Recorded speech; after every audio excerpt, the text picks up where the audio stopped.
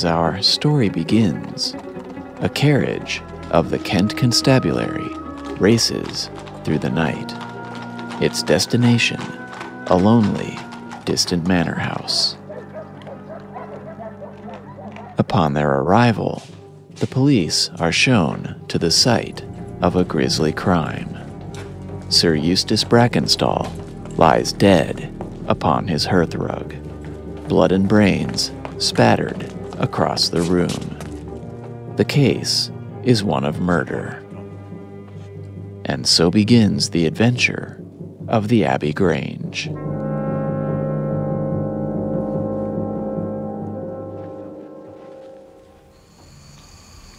On Baker Street, Holmes rouses his friend Watson from slumber. Come, Watson. Come. The game is afoot.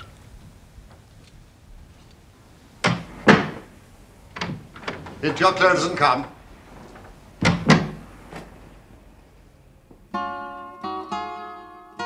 Being the initial episode filmed for the return of Sherlock Holmes, the Abbey Grange brought actor Edward Hardwicke and producer June Wyndham Davies into the series fold for the first time. Davies, having enjoyed the stories as a girl, was already quite familiar with the great detective, even having gone so far as to have written a musical of The Hound of the Baskervilles in her younger years. To Peter Haining, she admitted that she was a bit intimidated at the prospect of taking over the show. She said, It was a great challenge to be asked to take over the series when it was already established and enormously popular, and give it added impetus. But I am full of admiration for Jeremy Brett. He is such a caring actor and gives tremendous encouragement to all those around him. Sherlock Holmes has never had a better interpreter, in my opinion, and I think the pairing of Jeremy Brett and Edward Hardwicke is superb, and they continue to evolve the characters in every story. In fact, to Helen Cohen and Baptiste Marcel, Davies recalled her part in the transition between Watsons. She said, I met David Burke when I was going to do The Return. He had just received a wonderful offer to go to Stratford Memorial Theater, and he came to me and said, This is terrible. You're going to take over, and I'm leaving, and it looks so bad. But one of the things I have done throughout my career is if an actor has a chance that is going to enhance his career, I never stopped him, and I never would. It was Edward Hardwicke I chose to be Dr. Watson, and I actually believe he was better. David had a more modern approach and a more abrasive personality. Edward is, to me, the definitive Dr. Watson. He has everything that Conan Doyle speaks of. He is the most lovely actor to work with, and a great personal friend.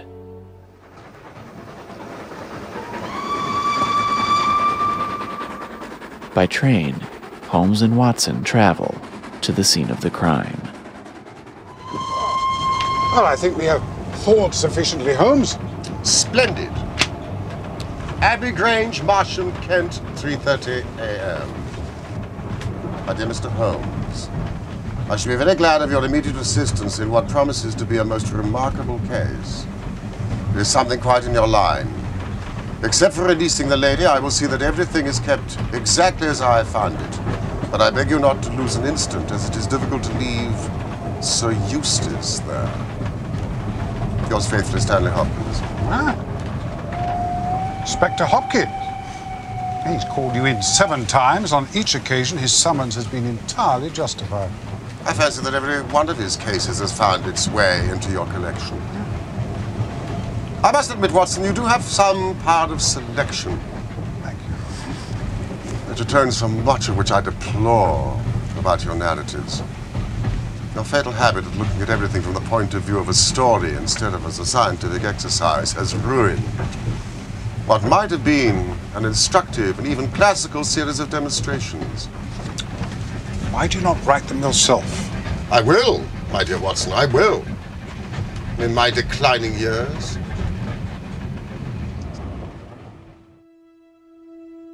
Edward Hardwicke initially struggled to find his footing in the Abbey Grange, quite literally. To NPR's Leanne Hansen, Jeremy Brett recalled. Enough so that your Well, Ed was a very, very remarkable man. One, probably the nicest, one of the nicest people I've ever met in my life. And he wanted to fit in. So he watched the previous 13 films, decided to try and look a little like David Burke as much as he could, bless him. So he put on a rug, I mean a toupee, and, um, and put lifts in his heels. And the first film we shot together was The Abbey Grange. And we were running across a field. and he, he, of course, he, these heels were too high, so he was slipping and sliding. And I said, Oh, Edward, take them out. I'll bend my knees for the rest of the film. so that's how we adapted and heeled it in. Oh. Peter Hammond, the director of the Abbey Grange, also provided Hardwicke with some much needed character direction, for which he was quite grateful. He recalled The Abbey Grange was the first one I was involved in. And a director called Peter Hammond, who subsequently did a lot of them, um, did it. And he gave me a couple of notes which were hugely important to me and they made a lot of difference to the way I looked at the part. There was a sequence in the Abbey Grange where Holmes is pacing around trying to work this thing out. And Hammond said to me, uh, I want you to smoke. And I, I said, Yes, what? Smoke what? He said, Cigarettes. I want you to smoke cigarettes. So I lit a cigarette. And he said, No, no, no. He said, Keep the cigarette very close to your face. Don't move it away too far. And it doesn't really mean anything in, in its explanation, but in the context of what we were doing, it immediately made me think, yes, that suggests time and concentration. And it somehow triggered something in the back of my head that made me think, Watson, I don't know why, and I couldn't explain it to you.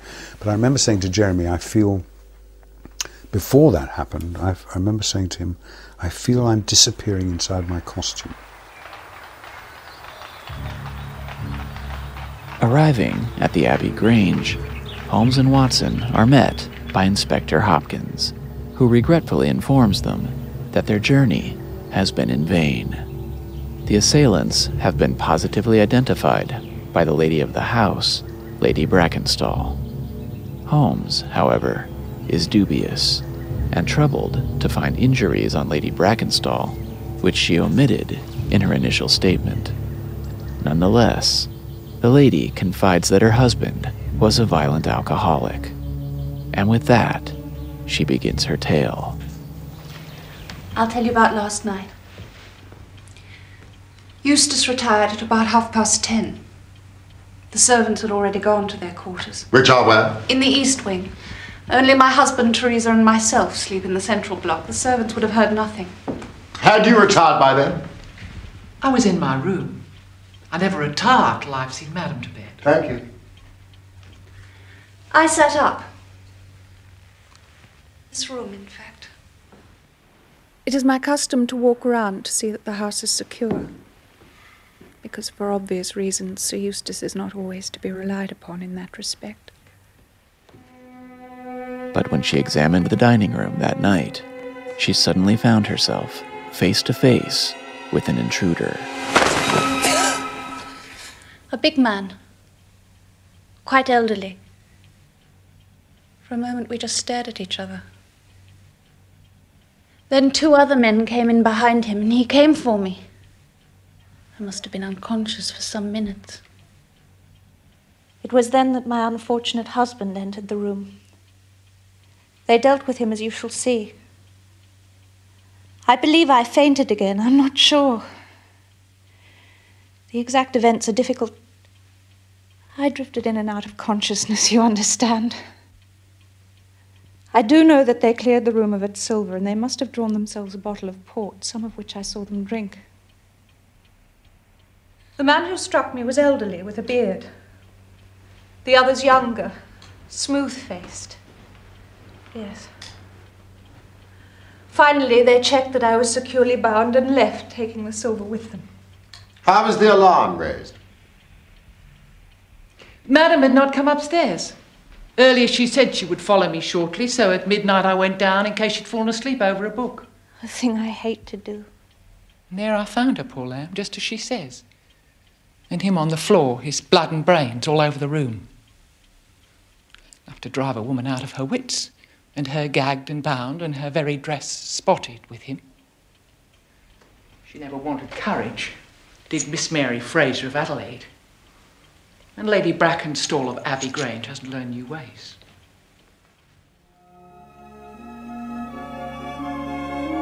The graceful Lady Brackenstall was played here by Australian born actress Anne Louise Lambert. Born in Brisbane in 1955, Lambert found her first acting work in Sydney, appearing in various television soap operas. Her big break came in 1975 when legendary director Peter Weir, after seeing Lambert in a TV commercial for Fanta Soda, decided that she would be perfect for the lead role in his next film, A Picnic at Hanging Rock, a film that would become a major cult classic. She would go on to play many starring roles in both film and television, including The Borgias, The Draughtsman's Contract, and House of Hancock. And she was originally cast as Princess Irulan in David Lynch's 1984 sci fi epic, Dune, but was replaced at the last moment by actress Virginia Madsen.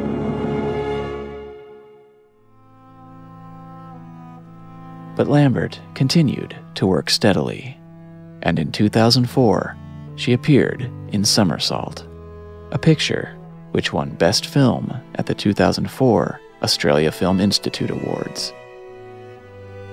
Around this time, Lambert turned her attention to another field psychotherapy, and she currently resides in the Sydney suburb of Balmain, working primarily as a psychotherapist, life counselor, and coach at the age of 65.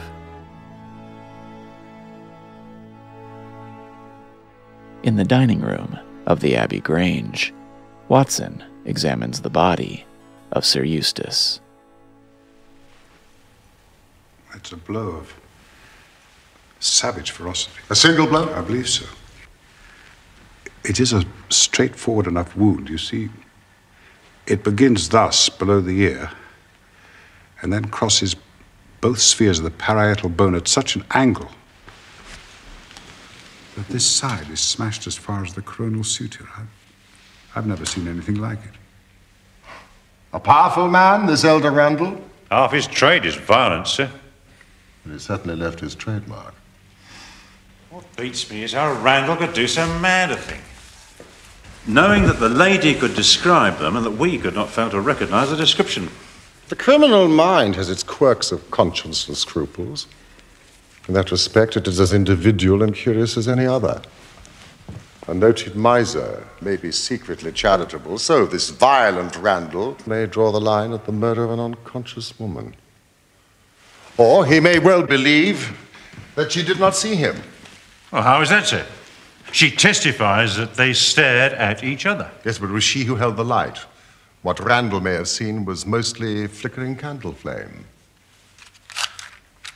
The face behind it, a distorted mask. He may have been unimaginative enough to have thought that she saw no more than he did. He knocked her unconscious at the next instance, thus, for his purposes, solving his problem, Watson. May I impose upon you to search the turkey rug? What for, Holmes? Candle wax, Watson. Candle wax. Holmes turns his attention to the service bell, a curious rope which was seized to bind the female victim. But Watson draws Holmes' attention back to the carpet. A scattering of wax and a very light scorching. Invisible, but leaving its characteristic scent. The lady would have fallen here. Randall would have snatched up the candelabra immediately. I suppose that is where they took their refreshment. To steady their nerves, yes. Port wine, sir. Did Lady Brackenstall say that the butler's corkscrew was used? No, sir. She was senseless at the moment the bottle was opened. Quite so. It was opened with a pocket screw, probably contained in a knife. If you examine the top of the cork, you will observe that the screw was driven in three times before the cork was extracted. This long screw would have transfixed it and drawn it with a single pull. When you catch this fellow, it is likely that you will find that he has a multiplex knife in his possession. Excellent, Mr. Holmes. These three glasses do puzzle me, I must confess. Did Lady Brackenstall say that she actually saw the three men drinking? Oh, yes. She was clear about that, sir. Well, then there's an end of it. What more is to be said?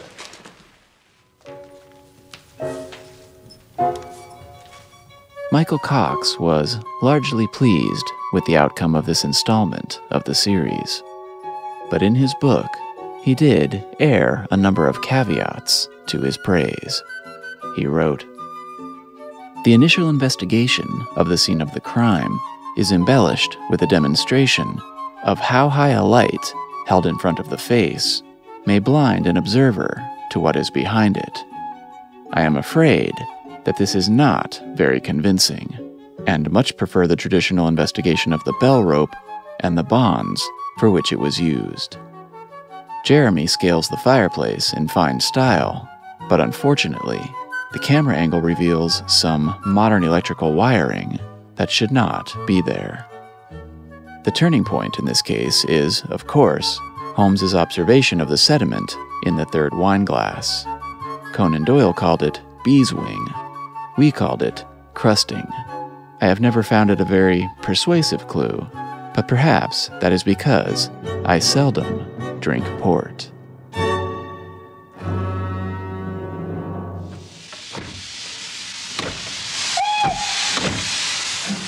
On the train back to London, Holmes has an epiphany. And as they arrive at their destination, they immediately secure passage back to the scene of the crime. Watson, we have been dazzled out of observation by that lady's beauty. Beauty may be truth, but she does not necessarily speak it. There was port in each glass, but there was only crusting in one glass. Hmm, the last glass filled is the one most likely to contain the crusting. I agree if the last pouring had approached the bottom of the bottle, but the bottle was half full and it had been agitated. The crusting was present throughout the port. Hmm, well, what then do you suppose? That only two glasses were used, and that the dregs of both were poured into a third so as to give the false impression that three people were there. I understand. If I'm right, Watson, then in an instant, this case rises from the commonplace to the exceedingly remarkable. That will be the Kentish train. What will? That will. How on earth did you hear it? I heard nothing, Watson. I observed. Back at the Abbey Grange, Holmes and Watson conduct their own investigation, and in a nearby ditch, Holmes spies a strange artifact the broken tombstone of a pet dog named Fudge. Fudge. Lady Brackenstall's pet dog, let us imagine, dies. It may not be too fanciful to suggest that their poor unfortunate creature was literally killed. Killed. For what reason? Reason, I suggest, hardly entered into it. It was done in a fit of insane rage. By whom? By a drunken, sadistic ruffian. One of the murderers? No, Watson. The lady's husband. The last of the Brackenstalls. Brackenstall. Consider it. No one but a member of the household could vandalize a gravestone and have remained in place. Why should Brackenstall entertain such an obsession about a pet animal that he will forbid any remembrance of it? You saw the marks, of course, on the lady's arm. Yes, I was surprised that they did not interest you more. There were stab wounds made by a long needle or a hat pin. This lady has been living in fear of her physical safety, Watson. Back in the dining hall, Holmes leaps into action, climbing atop the fireplace mantel to re examine the hook of the missing bell rope. His eyes widen as he realizes he had missed a vital clue. Unlike the frayed rope that was used to bind the lady's hands, the edge remaining on the hook was cut clean. Watson, we have got our case. How nearly have I made the blunder of a lifetime? But now the chain is almost complete. You've got your men. Man, Watson. Man. Only one. What a remarkable person. Strong as a lion, active as a squirrel, dexterous with his fingers, and finally, remarkably quick witted. Confronting Lady Brackenstall, Holmes pleads with her to reveal the truth of her ordeal. But the lady stubbornly adheres to her story. I am convinced that you are a much tried woman. If you will trust me and treat me as a friend, you may find that I will justify that trust. What do you want me to do? To tell me the truth. Mr. Holmes. No, no, no, no, no, please. Lady Brackenstall. It is of no use. You may have heard of any little reputation that I may possess. I will stake it all on the fact that your story is a complete fabrication. You're an impudent fellow. You trying to say that my mistress has told a lie? Have you nothing to tell me? I have told you everything. No, think just once more, Lady Brackenstall. Wouldn't it be better to be frank? I have told you all I know.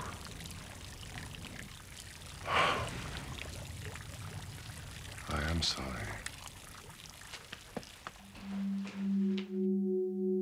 As Holmes and Watson depart the estate, Holmes takes note of a peculiar log in the lake, unmoved since their earlier visit.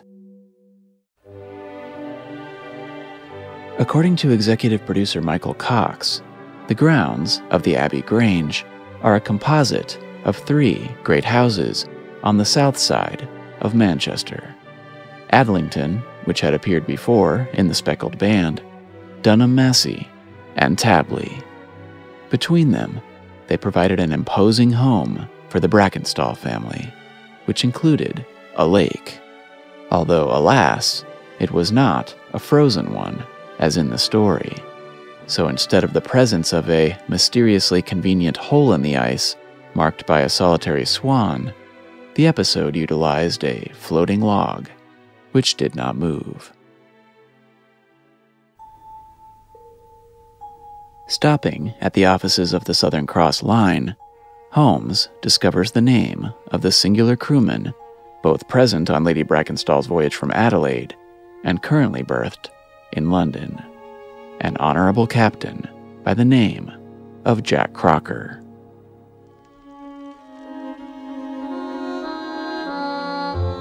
In his book, A Study in Celluloid, Michael Cox added a brief bibliographical note to his coverage of this episode pertaining to Captain Jack Crocker.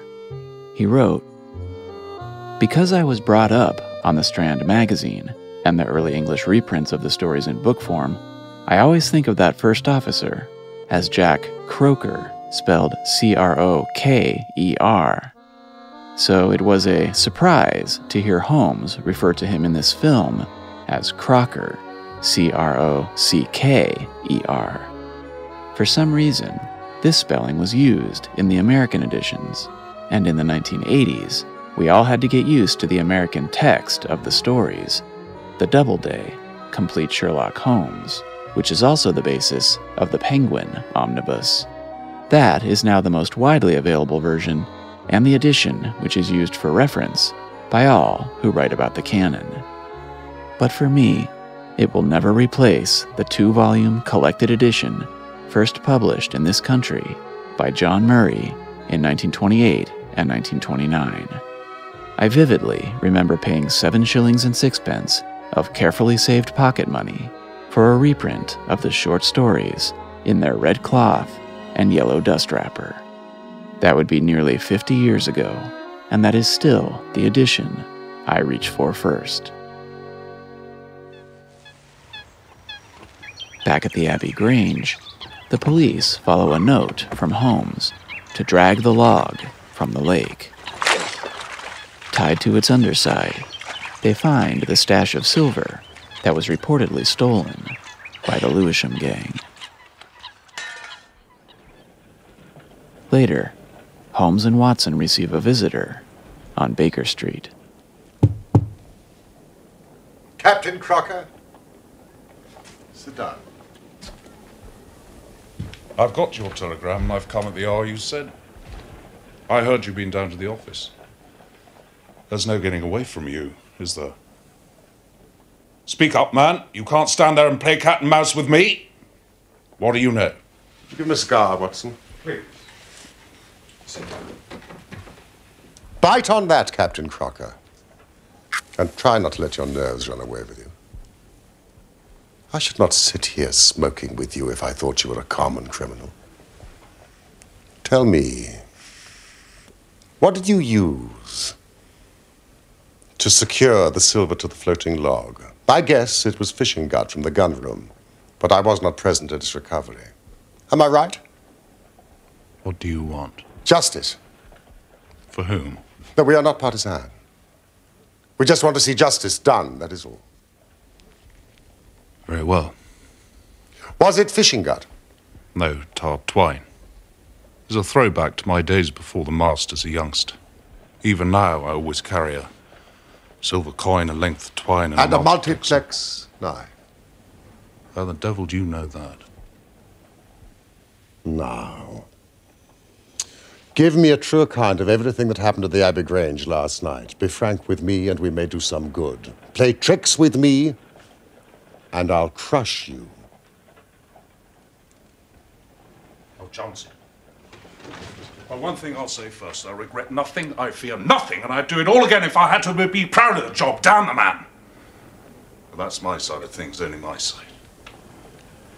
When I think of Mary, sweet Mary Fraser, when I think of getting her into this bloody business, is that that turns my soul to water.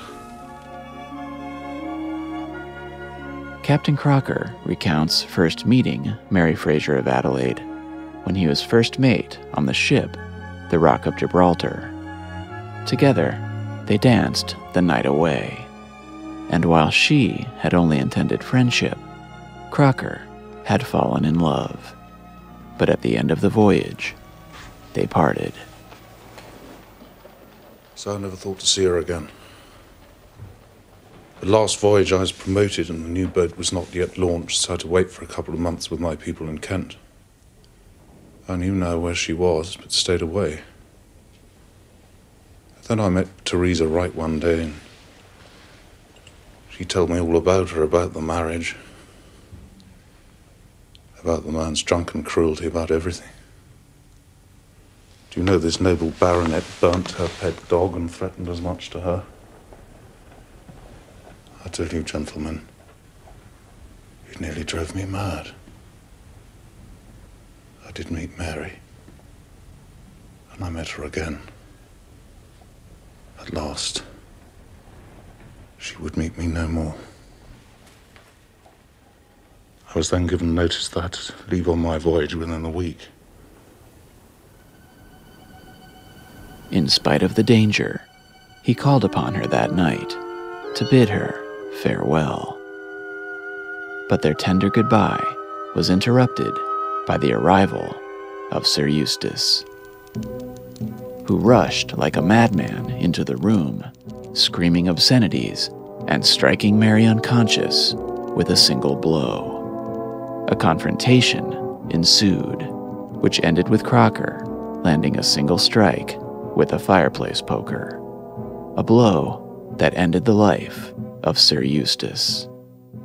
To revive Mary and steady his nerves, he shakily opened the bottle of port and poured two glasses.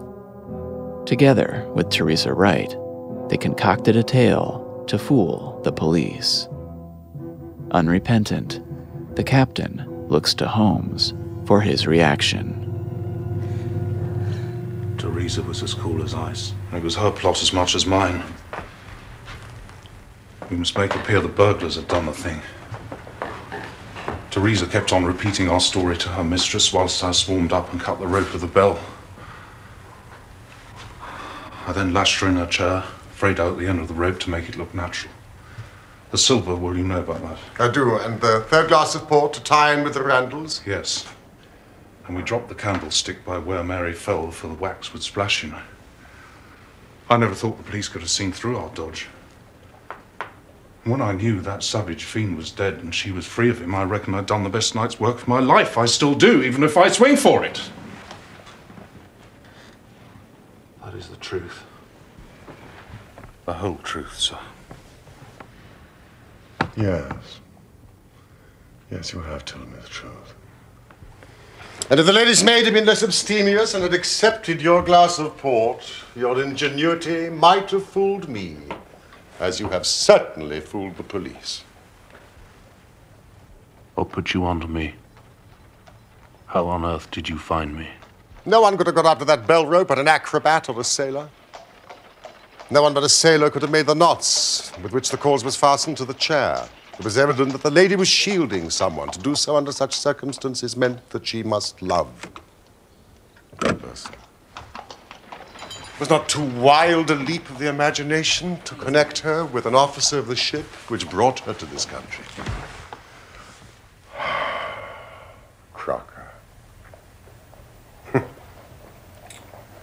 you are expecting a visitor.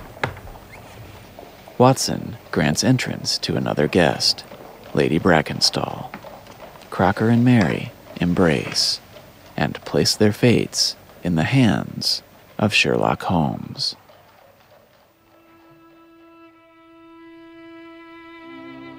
Our intrepid Captain Crocker was portrayed here by Swiss born actor Oliver Tobias. Born Oliver Tobias Freitag in 1947, Tobias came to the United Kingdom at the age of eight and immediately began his acting training at East 15 Acting School in London. By the age of 22, he was starring in, directing, and choreographing the rock opera Hair in London, Amsterdam, and Tel Aviv. His first feature film role came in 1971 with Romance of a Horse Thief, in which he co starred with Yul Brynner, Serge Gainsbourg, and Eli Wallach.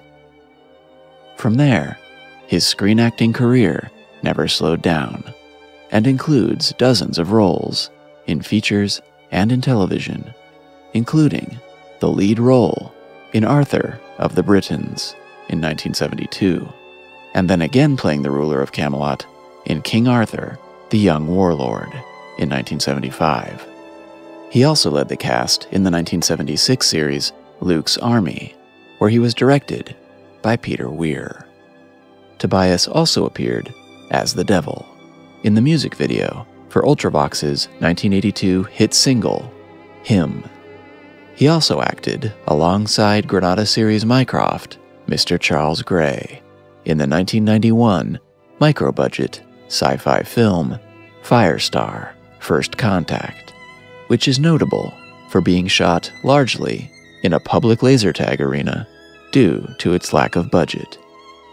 More recently, he appeared in the Conjuring sequel, The Book of the Dead, and in many more Swiss film and television projects. Oliver Tobias currently lives in the country, where he is working on a tell all autobiography at the age of 73. Well, Captain Crocker, this is a very serious matter. Yet I feel sure that on the basis of the story which you have told us here tonight, a British court of law will understand that you acted in defense of your own life. That, however, is for a jury to decide. Meanwhile, I have so much sympathy for you that if you choose to disappear within the next 24 hours, I promise no one will hinder you. Then it'll all come out. Certainly it will come out. What sort of proposal's that? Mary be left to face the music held as an accomplice, maybe. No, sir, it will not do. Jack, you must go. I shall not. Calm yourself, Captain. I was only testing you. Watson, this fellow rings true every time. It is a great responsibility that I take upon myself, but we will do it in due form of law. Crocker, you are the prisoner. Watson, you are a British jury. And I never met any man more eminently fitted to represent one. Now, gentleman, you have heard the evidence. Do you find the prisoner guilty or not guilty? No, not guilty. Vox populi, vox dei. You are acquitted, Captain Crocker. No. No, sir, it will not do. Captain? What the police arrest some other poor devil? What then? Then I will use all my powers to persuade them of their mistake. If they light on you, then that is another matter. However, I think that is unlikely. Come back to this lady in a year's time. And may her future and yours justify us in the judgment that we have pronounced this. Oh, thank you. Go. Overcome with joy, Mary throws her arms around the great detective, showering him with gratitude.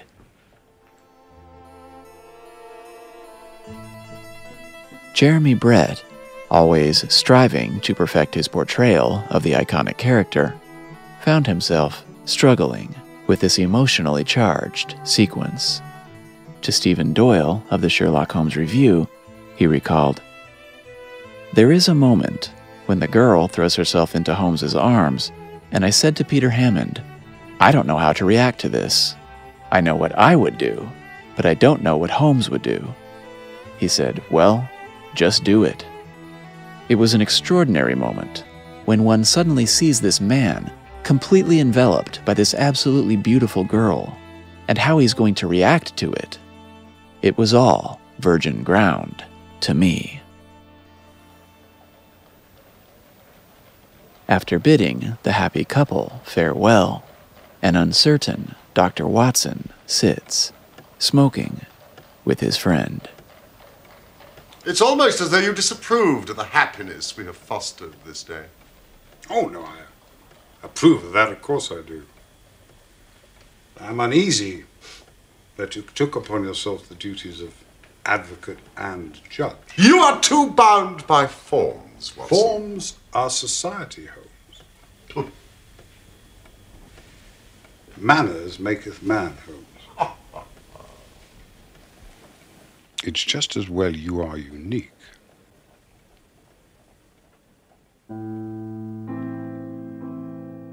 Original air date on the ITV network was the 6th of August, 1986, at 9 p.m. Dramatized by Trevor Bowen and directed by Peter Hammond. We have met Trevor Bowen before on The Priory School, and we'll see him again several more times on The Hound of the Baskervilles, The Eligible Bachelor, The Dying Detective, and more. But The Abbey Grange marks the series debut for a very unique director. So let's take just a moment to meet the enigmatic Peter Hammond.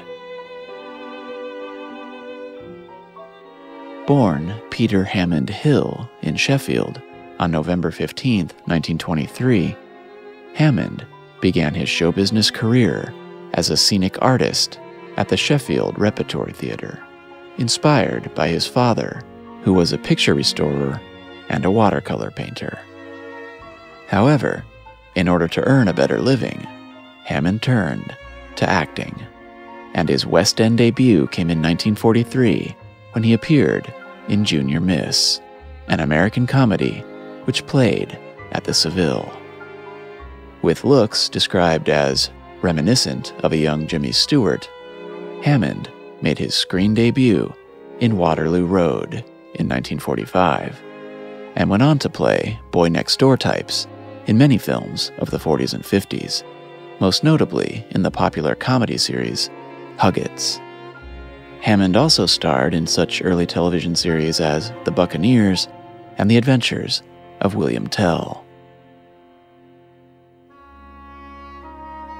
But in 1959, he decided that it was time for a change, and he enrolled with the BBC as a trainee director producer. The 1960s would bring his first credits as the director of many programs, including The Avengers, Armchair Theater, a 12 part adaptation of The Count of Monte Cristo, and the 1966 BBC serial The Three Musketeers, which starred a youthful Jeremy Brett in the role of D'Artagnan. Hammond quickly established himself as a fast worker who still managed to bring flair to his projects.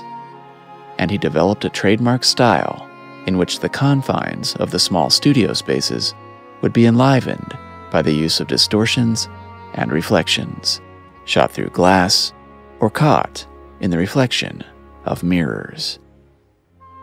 And in 1965, he won a director's BAFTA for his work on both The Avengers and a fully improvised television play called Ambrose, which starred Donald Pleasence and Elizabeth Begley. Hammond was tempted by, but resisted, the call of Hollywood, which to him seemed more about making profits than making films. And he only ventured into feature films once, directing the 1970 British picture Spring and Port Wine, starring James Mason. But in the 80s and 90s, he continued working diligently in television on shows like BBC Two Playhouse, Tales of the Unexpected, and Shades of Darkness, the Granada series produced by June Wyndham Davies. So, when Davies took over as producer on the Granada Sherlock Holmes series, and she wanted talented, industrious, highly creative individuals in the director's chair, her first call was to Peter Hammond, who would return again for The Sign of Four, Wisteria Lodge, The Three Gables, and more. Forced to retire due to ill health in the mid 90s, Peter Hammond devoted himself to painting and caring for his wife. Hammond often humbly referred to himself as just another television hack. But his friend and frequent collaborator, composer Paul Lewis, said this of the man. His work was always visually brilliant. He was a visual poet. He was a private man, strangely contrary to the image of gregarious bonhomie that he gave whilst working and that's because he came alive when he worked. Peter Hammond died October 12, 2011, at the age of 87.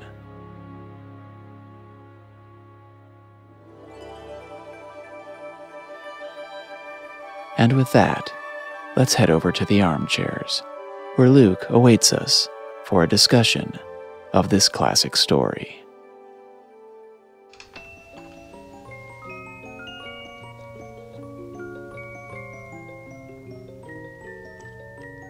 Sherlock Holmes gets impatient with fame.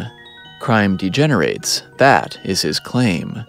So he deals, quite unwilling, with Sir Eustace's killing, and the down under source of his dame. A curious limerick from Isaac Asimov, alluding to some minutia from the story more than anything else, but it does bring up an interesting connection to the show, which is in the story, Lady Brackenstall was brought up in South Australia, and in the show, I think it's hinted that her father sent her there on a trip. I'm not sure, but they actually cast an Australian actress to play her. Yeah. And, you know, whether her Australian accent bleeds through it all, I can't really with authority say. But Anne Louise Lambert certainly was Australian by nationality. So kind of a cool choice there, I thought. Yeah. I didn't get much Australian from her, but that's all right. Yeah, well, she definitely did a good British accent, uh, but uh, she is Australian. Well, I want to dive in, but just so folks know, a little teaser. We have something quite special to share when we get to the listener telegrams portion of the show. Mm. I'm not going to reveal it yet. We're saving it until then, but we have a little surprise for later, so stay tuned. Okay, well, let's dive in. Um, first, pretty obvious note once again, the intro music. Yeah. Slight variation on the recording here. I mean, very different tail end flourish to it. Yeah, it kind of goes right into the first cue. Yeah.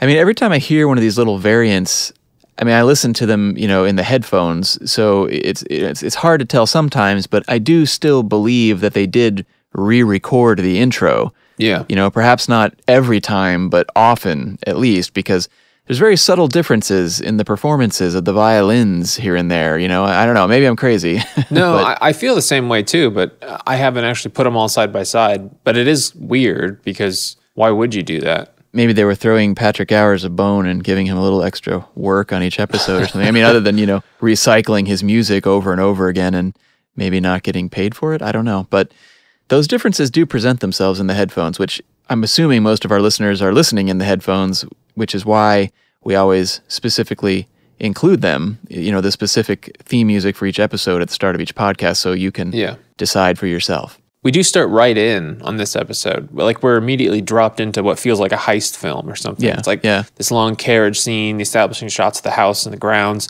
you know, rushing through the hallways, and then this quick succession of shots of the murder scene. Yeah, and quite quickly we are treated to the very first Peter Hammond mirror shot of the series. Yep. we can call it reflection number one because I'm going to be listing them as we go through. And uh, for, for those who didn't catch it, it's the moment when Hopkins and the police pass by a bureau filled with pink glass baubles or something. I don't know uh, on their on Mhm. their way to see Sir Eustace. It's really nice, especially in HD. All that reflecting, illuminated glass. It's very colorful. I, li- I like the shot a lot. Are you going to also list anytime we shoot through glass? You know, we'll see. I, I have some notes about that, but I, I tried to just focus on the reflections this time. Yeah. Well, I, I didn't make multiple notes. I just wrote in mirror shots. You know you're in a Peter Hammond episode. Right, exactly. We'll talk about this later, but uh, you know, I don't feel like this is an egregious example of Peter Hammond's use of reflections. I feel like it works really well, um, but when you start paying attention, you start to realize they're they are there more than you might notice Yeah. at first. But that's not the only thing that you start to realize is present in this episode, which we'll come to. But um, the wide shot of Holmes getting Watson out of bed, actually a pretty close recreation to the Paget illustration, I thought, which was kind of great to see. Yeah. You know, this was the first one they shot of the return, so maybe they hadn't quite cast off the old way yet, but I, I feel like they were kind of recreating the, the Pagets in this one a little bit. Yeah, I thought that was great. And it's also, you know, the game is afoot. Yeah. Maybe the most quotable, identifiable lines from the whole series. Yeah, right, exactly. So, question for you Did you notice when they're on the train and Watson is kind of behind the letter Holmes is holding up for the screen to read, and Watson is back there and he's getting out his notepad and pencil, and it looks like he runs the pencil along his lips at one point.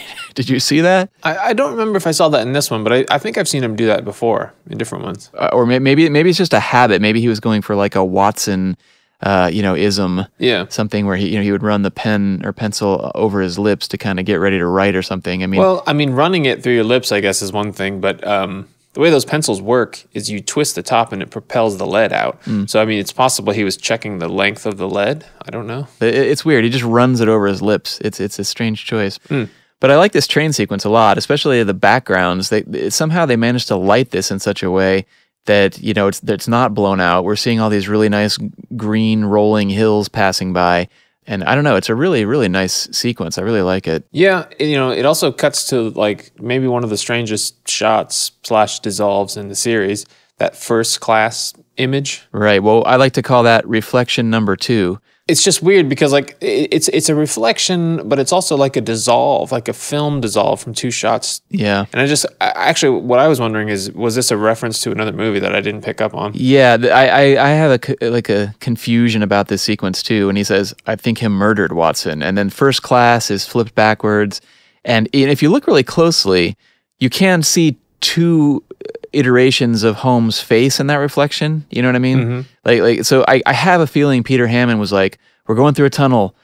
Let's just grab this. You know, it's going to be great. We're going to throw it in there somewhere. It's going to look great. It's a reflection. That that that could be. Yeah, because because it gets dark in that sequence. Yeah. So I feel like that that that crossfade dissolve thing you're describing is is kind of their way of going. We went through a tunnel right here. It went dark. We cut to this shot, and now we're coming out of the tunnel. I, I don't know. It's it's it's weird. I think that's a good explanation. I think that's as good as anything. Uh, Like I said, unless it was a reference to a movie. It adds emphasis to that line he says, but it's just such a strange thing. It's also doubly strange because it's not actually a great shot. It's fuzzy. It's kind of soft. It's too dark, probably. You know what I mean? Yeah. I guess the why is just because it's Peter Hammond. You know. Sure. Well, I mean, it adds something because you go, what happened there? yeah, but like, I'm I'm with you. Like I don't. I feel like there's something we're missing. Like maybe maybe there's a missing homage to something. But uh, yeah. so then we arrive at the house and we have this sequence where the horse, the carriage is approaching the house. I find these choices very interesting because we see we see Holmes notice the log, which is great, and then we get a few more shots of the carriage approaching, kind of from the driver POV uh, as it goes up, and Mhm. really it, it's quite a few seconds. I mean, these shots, it's like seven shots of uh, approaching the house. I mean, it's all beautiful, it all looks great, but we're certainly taking our time, you know, in getting there, which which um, it just seems like a strange use of the time. Speaking of the house, uh, we are back at the location from the Speckled Band for this house, Right. Yeah. which is kind of cool to see. And it's also not under construction anymore. Yeah. The, the house is a couple different houses, um, you know, different parts of different houses, but uh, I also thought it was interesting that when later, when we come back to the house and there's a wide shot of the exterior, we hear the the way ah call of the peacock again. Yeah. Which is again consistent with the sounds of the speckled band. yeah. well, they use that sound a lot. I, I've never heard so many peacock calls as in this series. Yeah. But moving on from here, Inspector Hopkins makes an appearance. He was played by Paul Williamson, and you know he does a fine job.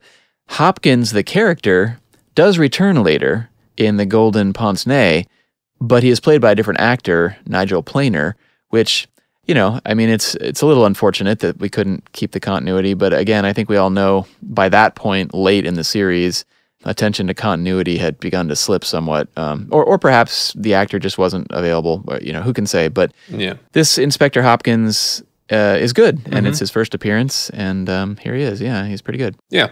Well, and then very quickly we are introduced to reflection number three at the five minute and 50 second mark. Uh, Holmes, Watson, and Inspector Hopkins stood in front of a mirror with Watson mainly seen in the glass. Also very colorful red candles, red stained glass, which is followed immediately by reflection number four. the very next shot as they approach, it's that same bright pink bureau of baubles or whatever. Really colorful, very nice.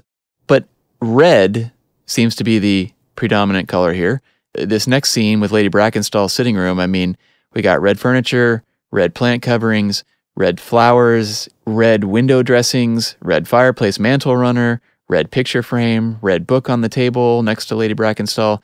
Of course, her bruises are all red. I mean, later on, we get the red bell ropes and the gag used on Mary is red.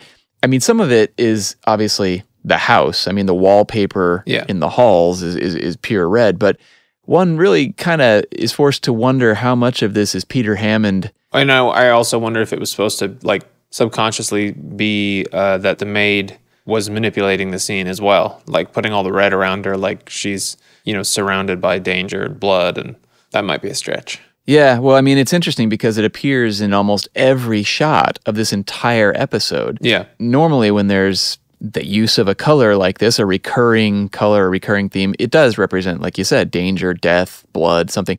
But it's like, what does it represent in this episode? I mean, what can it represent when it's uh, in every single shot? I think it's just Peter Hammond being Peter Hammond. Yeah, running with the theme, it's possible. Yeah. I don't think it'd be controversial to say this is the most romantic episode of the whole series. Oh, yeah. But it's also kind of the most melancholy and tragic in a way, you know. So I, I wonder if it was maybe red represents that. Yeah. During uh, Lady Brackenstall's explanation of Sir Eustace's drinking, there's a shot of Holmes just kind of clocking Watson being sucked into the story Right. emotionally. Yeah. And then we go back to Holmes and he's he looks like he's already dismissing her story in his mind. He's a bit incredulous and it was like a good decision as an actor, I think. But then in the story, he believes it. Yeah. They they kind of leave and like, well, this is already solved. But I don't know if that was meant to just sprinkle a little like, eh, there's there's some doubt here. You know what I took away from it was just that Holmes is analyzing every word that's coming out of her mouth and it's so intense. It's it's his performance is amazing. But I just feel like what's happening is like there's some subconscious thing in his brain going something here doesn't add up.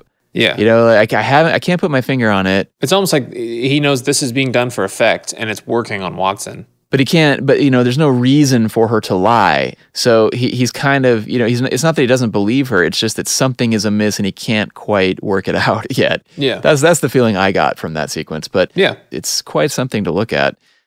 Well, in this sequence we're in now in, in the sitting room, we get reflection number five and reflection number six, uh, which is, you know, Holmes's face in the foreground, Lady Brackenstall's face in a mirror in the background, and then a few minutes Yeah. later, Teresa Wright is is by that same mirror. So uh, more mirrors being used uh, already. Mm-hmm. Um, again, they don't feel terrible. They don't feel Mazarin Stone. um, Not terrible, but over the top maybe. Mazarin Stone. Right, right, exactly. The next sequence, when we get into uh, you know the big room, the dining room, it also introduces us to something that is recurrent in this episode, which is the difference between close-up sound and room sound. Yeah. You know, it, it seems like there's quite a few instances in this one where they just decided, hey, we're just going to mic this room and everybody's going to sound really far away Mhm. and echoey and, you know, like we're in a big room. Well, that might not have been a decision. It might have been like, we don't need radio mics on this. We got the boom. And then Right. it turns into a really super wide shot. And then the sound guy's screwed, basically. Right. Because you can't have the sh- mic in the shot. Yeah, it's hard to know if it is a choice or not. I guess we'll never know really, but Yeah. until you really pay attention to it, it's it's not bothersome. You know, it's fine. No. Uh, I never really noticed it until this this viewing, but as you watch this episode, there's a lot of it. There's a lot of that in this episode. A lot of places where people just get quiet because there's no mic near them. You know, it's just far Yeah, away. for sure. So it, it's different. It's interesting, but we do get reflection number seven here, which is uh, at the 17 minute and 45 second mark. Holmes and Watson and Hopkins standing at the refreshment station, which Mhm. again looks maybe like there was some extra red added under the glasses. I mean, I know the wine is red, but there's like a little uh, something under the glasses which is red. And of course, the cork itself on the bottle has red on it. I yeah, it's just it never ends. Yeah. But uh, and then technically we get we'll call it reflection number 7A because there's just another shot where Holmes is holding up the glasses but he's looking into the mirror this time. So quite a few. I wonder what it was like explaining all these shots on the day. Yeah. like, so we're going to get this shot? Like, yeah, we're going to get that shot, but I'm going to shoot it through this mirror because it'll be cool. I, I got to believe that June Wyndham Davies just said, look, Peter's in charge, do whatever he says. Mm-hmm. That's how it went down. Well, the next sequence is the train station, which again, we get a reflection. Uh, we see Holmes and Watson waiting for the train, but just their reflections as the glass is passing by of the arriving train. Again, doesn't put you out of the episode. It's it's it's tastefully done, and even more red in this sequence. I mean, it's just everywhere you look. That that stop go signal that switches from green to red glass for the train. Mm-hmm. I mean, really nice, really nice choice. But another example of red. And then we get reflection number nine when Holmes is on the train. Uh, There's literally a mirror in the train that he manages to shoot and tilt down Mhm. from. Uh, so we get a- a shot of him in a nice red train seat. And then we get reflection number 10 at the 20 minute mark, just before the commercial break, when Holmes taps his stick on the glass, waking up Watson. And then behind him, we even see more red in the form of an advertisement for Camp Coffee. There's like a, you know, one of those ads that Mhm. they have at the train station. So I don't know. I just feel like, you know, once you start paying attention to the red and the reflections, Yeah. this episode kind of becomes hard to watch.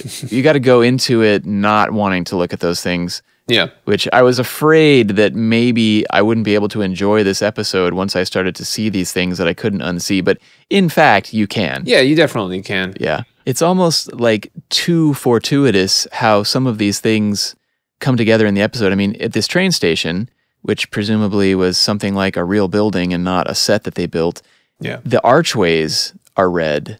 You know, the parked train is red. And then obviously you get the train man who, uh, you know, Holmes has his eye on him. He's the guy who kind of gives him the clue that the next train is coming. Did you notice his necktie color? Red. so I mean, it's like Peter Hammond went, there's just red everywhere. Let's just go with this and put even more red in there. I mean, it's so like it- when Holmes climbs down the ladder to get the gravestone of the pet dog, the ladder is red. I mean, obviously, I think some of that is, you know, happenstance. Sure. I, I do like that sequence when uh, Holmes is down there getting the stone and his hands, he's, he's using his hands and getting all dirty and rolling up his sleeves and they're getting all muddy. Yeah, I wondered if uh, Esther Dean, the costume lady, Yeah. would appreciate that scene, or if she was sitting back going like, "God damn it, he's getting this thing dirty again," you know? Yeah. Because then he puts his hands behind his back, and you can see that like underneath his jacket's dirty, like he's just getting it everywhere. Yeah. The moment when they're walking up, there's this line that's like basically just off screen. He says, How many frustrating episodes for the laboring men here could one reconstruct from this mechanical cemetery? Yeah. It's an interesting line. Makes you think maybe the writer was a repairman or a tinker or something in his spare time, being sympathetic to the scene of those broken machines. Yeah, I really like that line, and I never noticed it, you know, until watching it with the subtitles on. Like you said, it's kind of out of earshot in a sense. Yeah. Yeah, so I mean, after that sequence, they end up back in the room with the fireplace. I would save this for the Jeremy bits, but it's just too good to not talk about. Obviously, him scaling that fireplace. I mean, could anything Yeah. be more perfect? It's Jeremy Brett doing his own stunt for one thing. I mean, Mhm. it's nothing too ridiculous, but it certainly adds to the tenseness of it. I mean, he he could have fallen, he could have slipped. Well, I like that he just kind of launches right into it, too. He just turns around and just jumps, Yeah. just mid sentence kind of thing. And I mean, again, you know, this is the first one of the return, and he's obviously, you know, younger and in great shape, and he's still doing those things, and it's just so great. It's just so great to see it. Yeah. There is a um, gaff here. Yeah. And what it looks like is there's possibly a telephone wire up on top of the mantelpiece that's run, you know, running behind Jeremy. Actually, when when you're looking at him up there, Yeah. but I wondered if that was actually just the copper that connects to the bell rope, Hmm. kind of running through a more like modernized clear tube. I mean, it's secured with like very modern Yeah. plastic uh, nail-in clips. So I wondered if maybe, you know, the cameraman was setting up a shot and he was up high like that, Yeah. and maybe the shot should have just been a little bit lower, but maybe it just felt right. You know what I mean? You Yeah. just unless you're gonna cover it with a rug or something, I don't know what you would have done. I mean, I think they could have covered it. I, I think honestly, that's an instance where you know the, eh, Peter Hammond probably didn't want to get all the way up there, yeah, and the camera guy probably wasn't as you know d- didn't have the same eye for those kind of things, and it was it was a very high shot, and it probably just didn't have enough eyes on it. We also don't know how it was how it was shot because if it was on a crane, you know, I don't know what monitoring was like back then. So it Yeah. could have been you just couldn't see it on the screen. It could Yeah. have been as simple as they focused it on the ground and then put the camera up in the air and then Yeah. hope for the best. I, d- I don't know exactly how it was back then. You know, it's a minor thing. I mean, I, I've always noticed it, but I didn't actually know what it was, so I didn't really care. Yeah. But when when Michael Cox pointed out in his book that it was modern electrical wiring, and then it's like, well, okay, you know, that's unfortunate. Yeah, but I, I really think if the white clips weren't there, Yeah. I don't know. I feel like it would have played better just just because you can see the copper coming off the rope pole. It's not unbelievable to think that, that those two things could be connected, but the white clips kind of do it. But I think given the choice, I, I feel like if they would have even known of it, they probably would have just put a piece of molding over it. Yeah, or just brought the camera down. Yeah, yeah, exactly. So it's it's just a little flub, but it's it's not a huge thing. in that same scene when they're sitting at the table, you can clearly see Watson's watch chain hmm. With the coin with the square hole in it. And it reminded me of that annotation from the Redheaded League about the coin, whether it's a square holed coin or a coin with a square hole. Right. It's one of those things, but it's it's on his chain there, so Yes. they they answered it that way. Exactly. The next sequence, which uh, is outside with the fountain, I thought the framing of this scene was really great. You get the first shot, which is wide through the archway, so it's kind of framed up really nice. And then the very next shot, also great, but it's low, and you've got Holmes and Mary together at the bottom of the frame, Teresa and Watson at the top. I, it's definitely a, a masterfully framed shot. Mm-hmm. I'm tempted to call the reflection at the 27 minute mark uh, another reflection because you can kind of see Holmes in the reflection of the fountain, but Yeah. it's not an amazing reflection shot, so we won't count it in the tally. But I'm sure it was going through Peter Hammond's mind. I mean, come on, this is Peter Hammond. Yeah. N- no reflection shall go to waste. But Maybe you'll have to verify this one for me. Uh, It was something I forgot to go back and check, but I wondered if this was a recurring thing as well, um, where Sherlock is pointing at the polished brass sign outside the office for the Southern Cross line. Yeah. I seem to remember he did this in the, the Redheaded League as well when they went to the bank, and that we see him pointing it like he's directing Watson, like, "Here we are. This Yeah. is the location." You know, and and and it's like he's almost reading it in the in the reflection, but but there's no dialogue there. You know. It is interesting that he points it out, but it's also, yeah, you're right. There is that reflection in that shot. Also, did you notice little red stars on that sign? Hmm. Well, I guess I didn't notice that. Peter Hammond is directing. You got to imagine he goes, okay, we need a sign for this thing. First of all, we need to be able to shoot a reflection in it, and also we need some red. We got to make sure both those things are, are taken care of in this sign, people. It's possible. There is a quick shot of Holmes pointing at something with his walking stick in the shot immediately after it. Mm.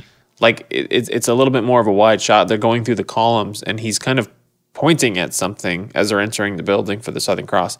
It's, I don't know. It's, it's really brief, but it's it's also really weird. Yeah. It's like he's pointing at someone on the crew or something, and then they cut in. It's really weird. I feel like Jeremy Brett just does that from time to time. He just uh, finds something to point out with his stick. Mhm. Though I have to say, we did pass, in going that far ahead, we did pass a few reflections. We had reflection number 12 uh, as Holmes taps the driver with his stick and they're leaving Abbey Grange. They pass in front of a mirror that's at the entrance. Mm. And we also have reflection number 13, which is when Lady Brackenstall is watching them depart, and we see the reflection of the carriage passing her face in the glass. Yeah. So uh, we get both of those reflections. Those kind of things are not incidental. Right. You know, you've got to get the camera right, and you've got to get the position right. So it's those were set up. And once we arrive at the Southern Cross Line offices, whew, there's no shortage of red in this sequence. We have a Yeah. red shipping manifest book, red chess pieces, Mhm. red stained glass. The attendant, Mr. Viviani, is wearing a red vest. Yeah. I mean, I feel like I should just stop because, I mean,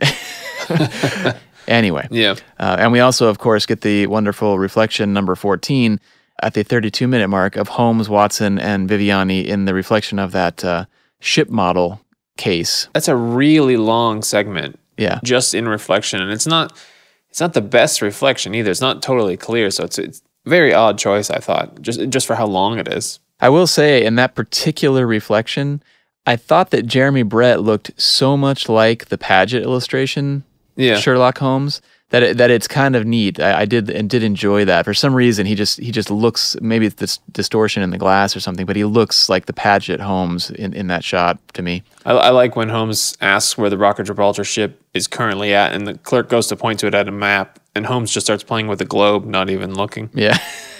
You know, just Yeah. another definitely Jeremy thing. He can hear him. It's fine. I do like the moment where Mr. Viviani says, you know, only through the study of the good doctor's masterly exposition of your work that I now have any small capacity to reason. And Watson looks quite pleased. and Yeah. Holmes notices and he says, oh, Watson, are you taking notes? Yeah. Just to knock him back down a peg. There's nice little moments and the smile from Mrs. Burbage on her way out the door. It's like, Well, and this whole sequence is a, a concoction of Trevor Bowen because it's not in the story Yeah. this way at all. These characters don't exist in the story. So Right. it's definitely very, very nicely done. But once they get back to Baker Street, when Crocker arrives, not that this is even a note about being red, it just so happens to be red, but when Crocker comes in, the camera is fairly high, so we're kind of looking down, and you get a very good view, which you rarely get, of the floor and the rug Mhm. in Baker Street, which is red. does have a lot of red in it, but you just get a nice look at it, which is kind of cool. Yeah. Add some texture to Baker Street. Bite on that, Captain Crocker. No, that's a great line. There's some really interesting stuff in this Baker Street sequence. If you look out the windows, Mhm. it seems to be a, a real pea souper out there. I mean, it, it's it's. But if you look really closely on some of the later shots, it, it looks like they just basically have set some diffuser fabric up Yeah. and it's Mhm. frankly like it's right next to the bricks that are outside, so you can you can kind of see it. It just kind of creates a a wall of light brown, which I'm assuming they were kind of guessing would play well as fog, and it does. Yeah. But if you if you really look closely at it, you can tell it's not fog. It's just Yeah. a, a scrim. maybe the sun came out and it was just too direct and then like we got to soften that you know Yeah. make it look something like what it was supposed to be so this is a dumb note but when captain crocker takes his first drag on the cigar there's an unintended sound effect that accompanies the movement of his cigar Really? it's like a it's like a squeaky door noise it's like Oh, right. but it's like right as he pulls a cigar out of his mouth it's just kind of a little comedy moment Yes. and a very nerdy tool reference here. The multiplex knife that he pulls out of his pocket, which I always expect to be red because of the Swiss Army knife, is black in this situation, which may be telling also. Yeah. But it has a Phillips head screwdriver on it, which I had to Google, but it wasn't invented until the 1930s. Are you sure? Pretty sure. Because there is a whole segment in the um, Baring Gould, I think, or maybe it's the Klinger book about Swiss Army knives and how they uh, they did include a screwdriver so they could disassemble their guns, but maybe it was a flathead screwdriver. They had flatheads, yep, or slotted, they call them. Okay, yeah. Because I had to do a bunch of research for, about screws at one point. Oh, interesting. well, that's interesting to know. Yeah, I, I didn't actually I didn't actually notice you could see that it was a Phillips He turns it really quickly, but it's like when you know what you're looking for, you're like, that's because the flathead is usually like pretty flat and, and, Yeah. and wide, and it's in the other side. When it's like back with this corkscrew, it's usually the, the Phillips head. Interesting. Well, this sequence here, when they start flashing back to Crocker's story, I have to admit, there's a shot in this that I've always really loved, and it's the one that is the night after the party, and all the chairs are empty, and the streamers are scattered everywhere, and Mhm. Crocker is just so lonely, and he walks through, and he's saying his line about how he'll never be a free man again. I don't know why, but that shot is always struck with me. Yeah. I think it's because it's just like a static shot. The camera doesn't move, but you know, there's so much color in it and so many things set up in it. And he walks through and he kicks the ground and you know does his little. Yeah. thing. I, I just enjoy it every time. Every time it's on, I enjoy that moment. It's just so nice. Yeah, the music is nice. His dialogue is nice. Everything's good. It's a nice m- moment for the actor. I did make a note on this moment, but I put that the quote boat party location. It did seem a little bit like they just stuck life preservers on a wall Right. to sell the idea of a ship. yeah. But like it was a boat themed restaurant almost. Yeah. You know, because it was definitely not a boat. It wasn't moving. Yeah. But like I thought, like if you took away the life preservers, would you know you were on a boat? It's true. It's true. But I think I think it works. I mean, they could have Yeah. they could have rocked the camera and added in some wave sounds or something. But uh, yeah, no, it's fine. No, no, it's no. fine.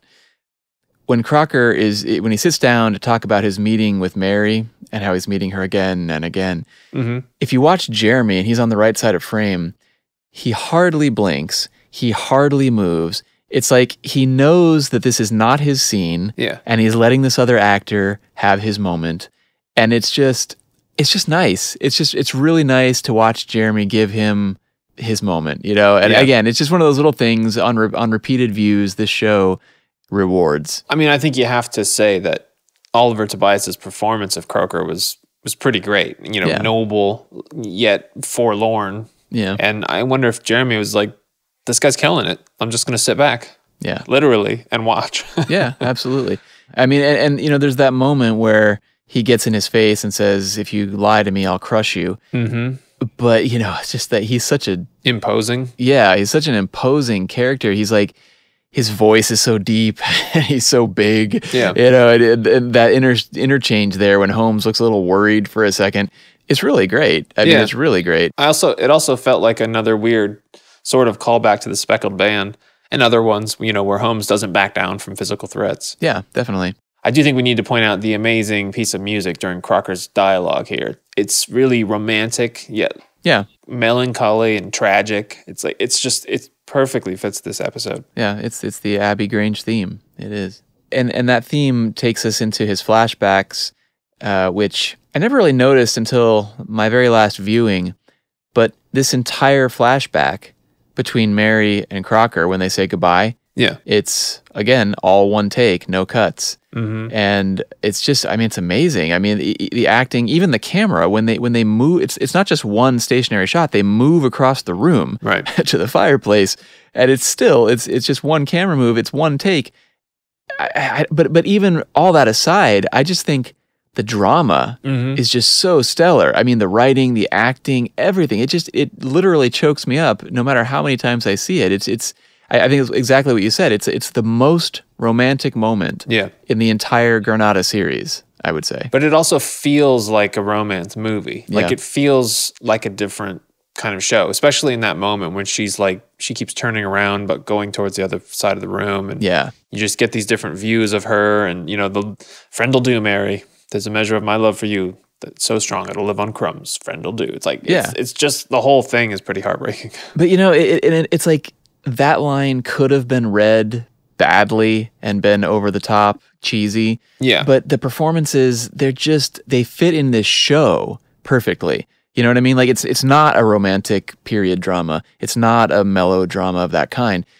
And yet, it, it again, it could have gone the wrong way. It could have gone over the top. And these two performers just nail it so brilliantly. Yeah. it's so subtle. That's the, I think that's why I personally like it because I wouldn't like it if it were too over the top. But because it's so subtle, it really hits home for me. Yeah, it's very measured, and and I think you know Stephen Fry reads Crocker with an Australian accent, but it's quite different to the show. Hmm. And when you hear them back to back, uh, as I did when I was researching the episode, I think again it's another testament to the showrunners and to the actors of the series to to pull what they did from the original stories and to change it to to fit. Yeah. because I think it also kind of illustrates how one person's interpretation of the same text can be different to someone else's. Mhm, yeah. And I wonder if this is possibly an explanation to why some people don't like the episodes that are too similar to the original text, because maybe the image in their head is so burned in that when you see the same dialogue coming out differently, it, Yeah. you know, it feels weird. But whereas an episode of the show that's a bit looser with the story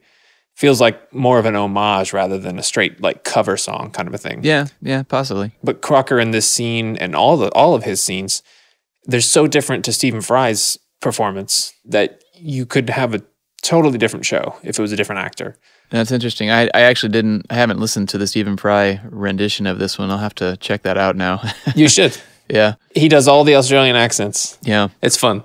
But speaking of performances, I have to say, the actor who played Sir Eustace, Conrad Phillips, for a brief little performance, I think it's entirely fantastic. I, I, I thought, I mean, I didn't do a bio on Mr. Phillips just because, you know, his part is so small. And, Yeah. but he, I mean, he's a pretty prolific actor. He has like 111 IMDb credits to his name, and most of those are TV appearances for which he had multiple appearances. So it's, you know, it's quite a few more than that. Yeah. And I mean, he was in like The Avengers, The Prisoner, Fawlty Towers. But it's like, you know, he's one of those actors that tends to fade into the background. Like I, I've seen all those shows and I don't even remember him in them. Yeah. so I, I got to go back Yeah. and look for him again. But I, I just feel like he was great in this. I mean, he was really great. I really liked him. I, I, I just thought, again, he could have gone too far, but he didn't. He just kept it exactly right. So I thought it was great. I I love that shot of him stumbling in and appearing in front of his own painting. I do like that, but I, I almost have a bad note because Yeah. Uh, you can't really say that it looks exactly like him. I mean, I mean, obviously it's him when he's younger or or something, but it's like, I mean, the fact that the that that painting is huge. I mean, that that must Yeah. be ten feet tall, you know, minimum. That thing is huge. So it's a great prop and it's a great thing that they did. But is it the same actor? It's hard to know. I don't know. I think the thing that sells it though is the hair coloring, like the little smattering of gray. yeah, he's got gray on both sides in the in the painting the same way. Yeah. Yeah, and it's like, okay, that's him. Yeah, that part that part was good. I did think that this was maybe some of the best fight choreography in the series. Yeah. And I know that might be controversial to say. It's not 100% perfect or anything. Uh, there's a lot of swinging, you know, but the swinging of Sir Eustace's blackthorn cudgel I thought were pretty believable. Yeah. And the way that Crocker's like blocking them, it's it's it's the camera work though. It's like we're tight in, Yeah. and we're handheld, and it feels like you're in a fight. And then when it cuts out to them, kind of like flopping on the table, Yeah. and it's just a wide static shot, like there's there's no there's no action. It doesn't feel like as much action, but Your comments almost verbatim reflect mine. I mean, I had this down as a good note, but I put sorta next to Yeah, it because exactly. it's like it starts off really good. Like those blows that uh, Eustace is is getting on Crocker, it, it looks like he's getting hurt. Mhm. You know, that that looks brutal. That that's a good stuff. But then it just loses momentum, you know, when they start climbing on the table and slipping and he's swinging in the air. Yeah, it, it kind of loses it. But it ends well. Yeah. Overall, quite quite good. I mean, it, it could have been bad. It wasn't bad. It was typical of the show, I thought, but then the beginning of it was better. Right. Exactly. And then the end of it's nice because we're in a close up and it's kind of dramatic because we're like watching them, you know, size each other up and then he just smacks them and it's like Yeah. crazy sound effect. And I like that he basically kills a guy, you know, and his brains are all over the floor and he just sets the murder weapon on his chest and walks away. yeah. And there's more red in this scene. The close up of Sir Eustace's eyeball. Yeah. Definitely. I thought this was a much better use of a practical effect than the wax brains on the floor. yeah. I wonder what they put in his eye because it's just it's just like open your eye. We're just gonna squirt some stuff in there and we'll get a quick shot. I thought it was pretty effective. It was effective. He's clearly, I mean, he, obviously he's freshly dead, so any twitching is still uh, forgivable. Yeah. But he definitely was having a hard time kind of keeping his eye with that stuff in there. Well, I think that's believable. You know, understandable. yeah. And we'll come back to the blood on the rug when we get to the bad. Okay. There is a line here that Teresa has when Crocker pours the wine. And, you know, in the story, the excuse for why we had to pour wine into three glasses is because Teresa didn't want any. She, di- she didn't drink the wine. Right. But what's funny is there is a line there to clarify that, but you, I mean, you really, I, I never picked up on it until I turned the subtitles on in my very last viewing where she says, Thank you, no, Captain. Yeah. Yeah. Yeah. No, it's kind of like a throwaway. Yeah, it doesn't really look like he's even offering her the drink. No, I know. I think it was maybe some bad direction on that one. yeah, but but it but it is there. Yeah. I did think this was one for friend of the podcast, uh, Peter Sokolowski from Merriam Webster. Because he says uh, in the story, he says, if the lady's maid had been less abstemious Right. and accepted your glass of port, your ingenuity might have fooled me. Yes, yes. Abstemious meaning not self indulgent, especially when eating and drinking. Yeah, no, that's definitely one for the uh, dictionary guy.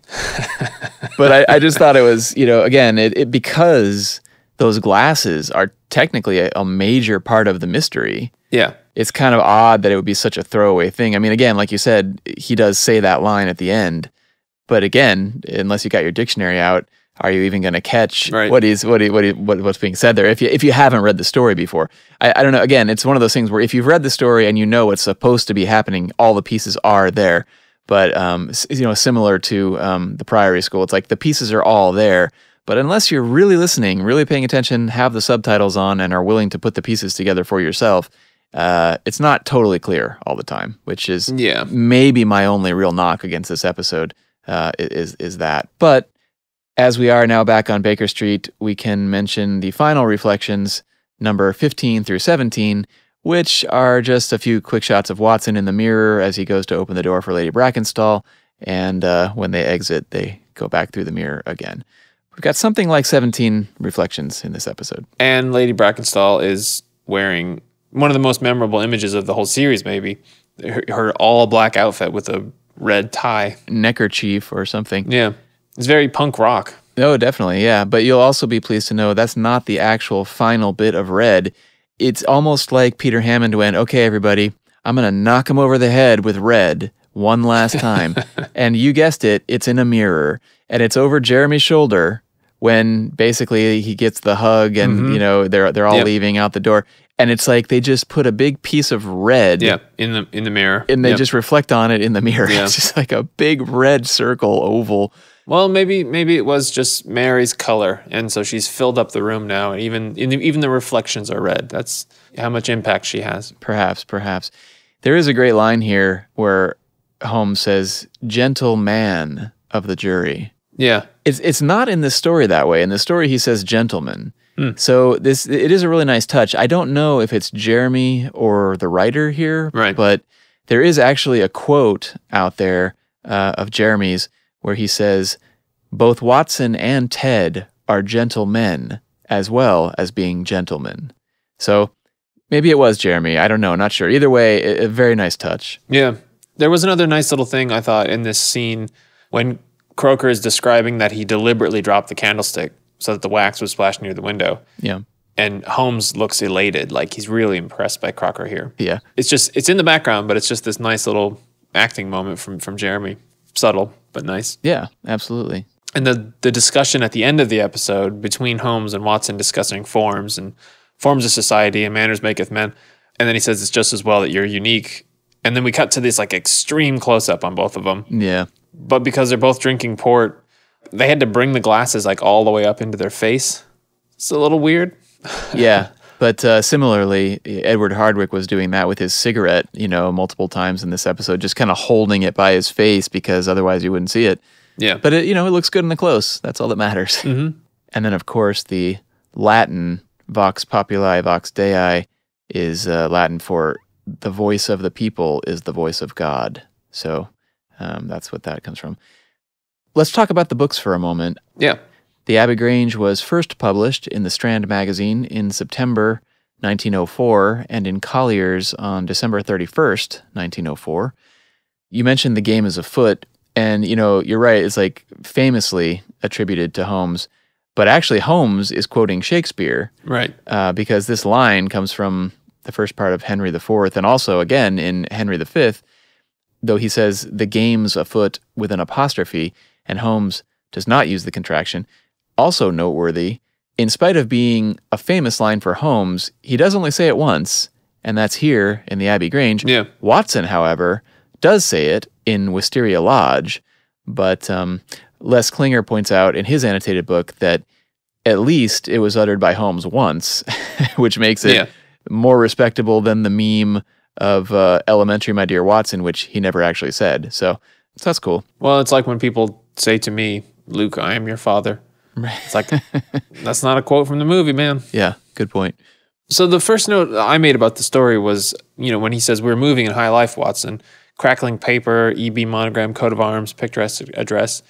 I started looking up crackling paper because I thought maybe it was a certain kind of paper, but I think really all it means was that it was nice paper because it actually, you could crackle it. Hmm. Whereas like paper of the day was like pulpy and thick and soft. Yeah. So I assume that's what they meant. But I, I started looking up. I was trying to find anything about like vintage paper, you know, being called crackling paper, and I found this article that was about in quotes papermen and the habits of papermen and like people that work with paper and that they'll chew on paper and then they like to crackle paper and it was this really weird article, but nothing specifically about this other than it probably was due to it being crisp, just like a stiffer, which was expensive at the time. Yeah. Yeah.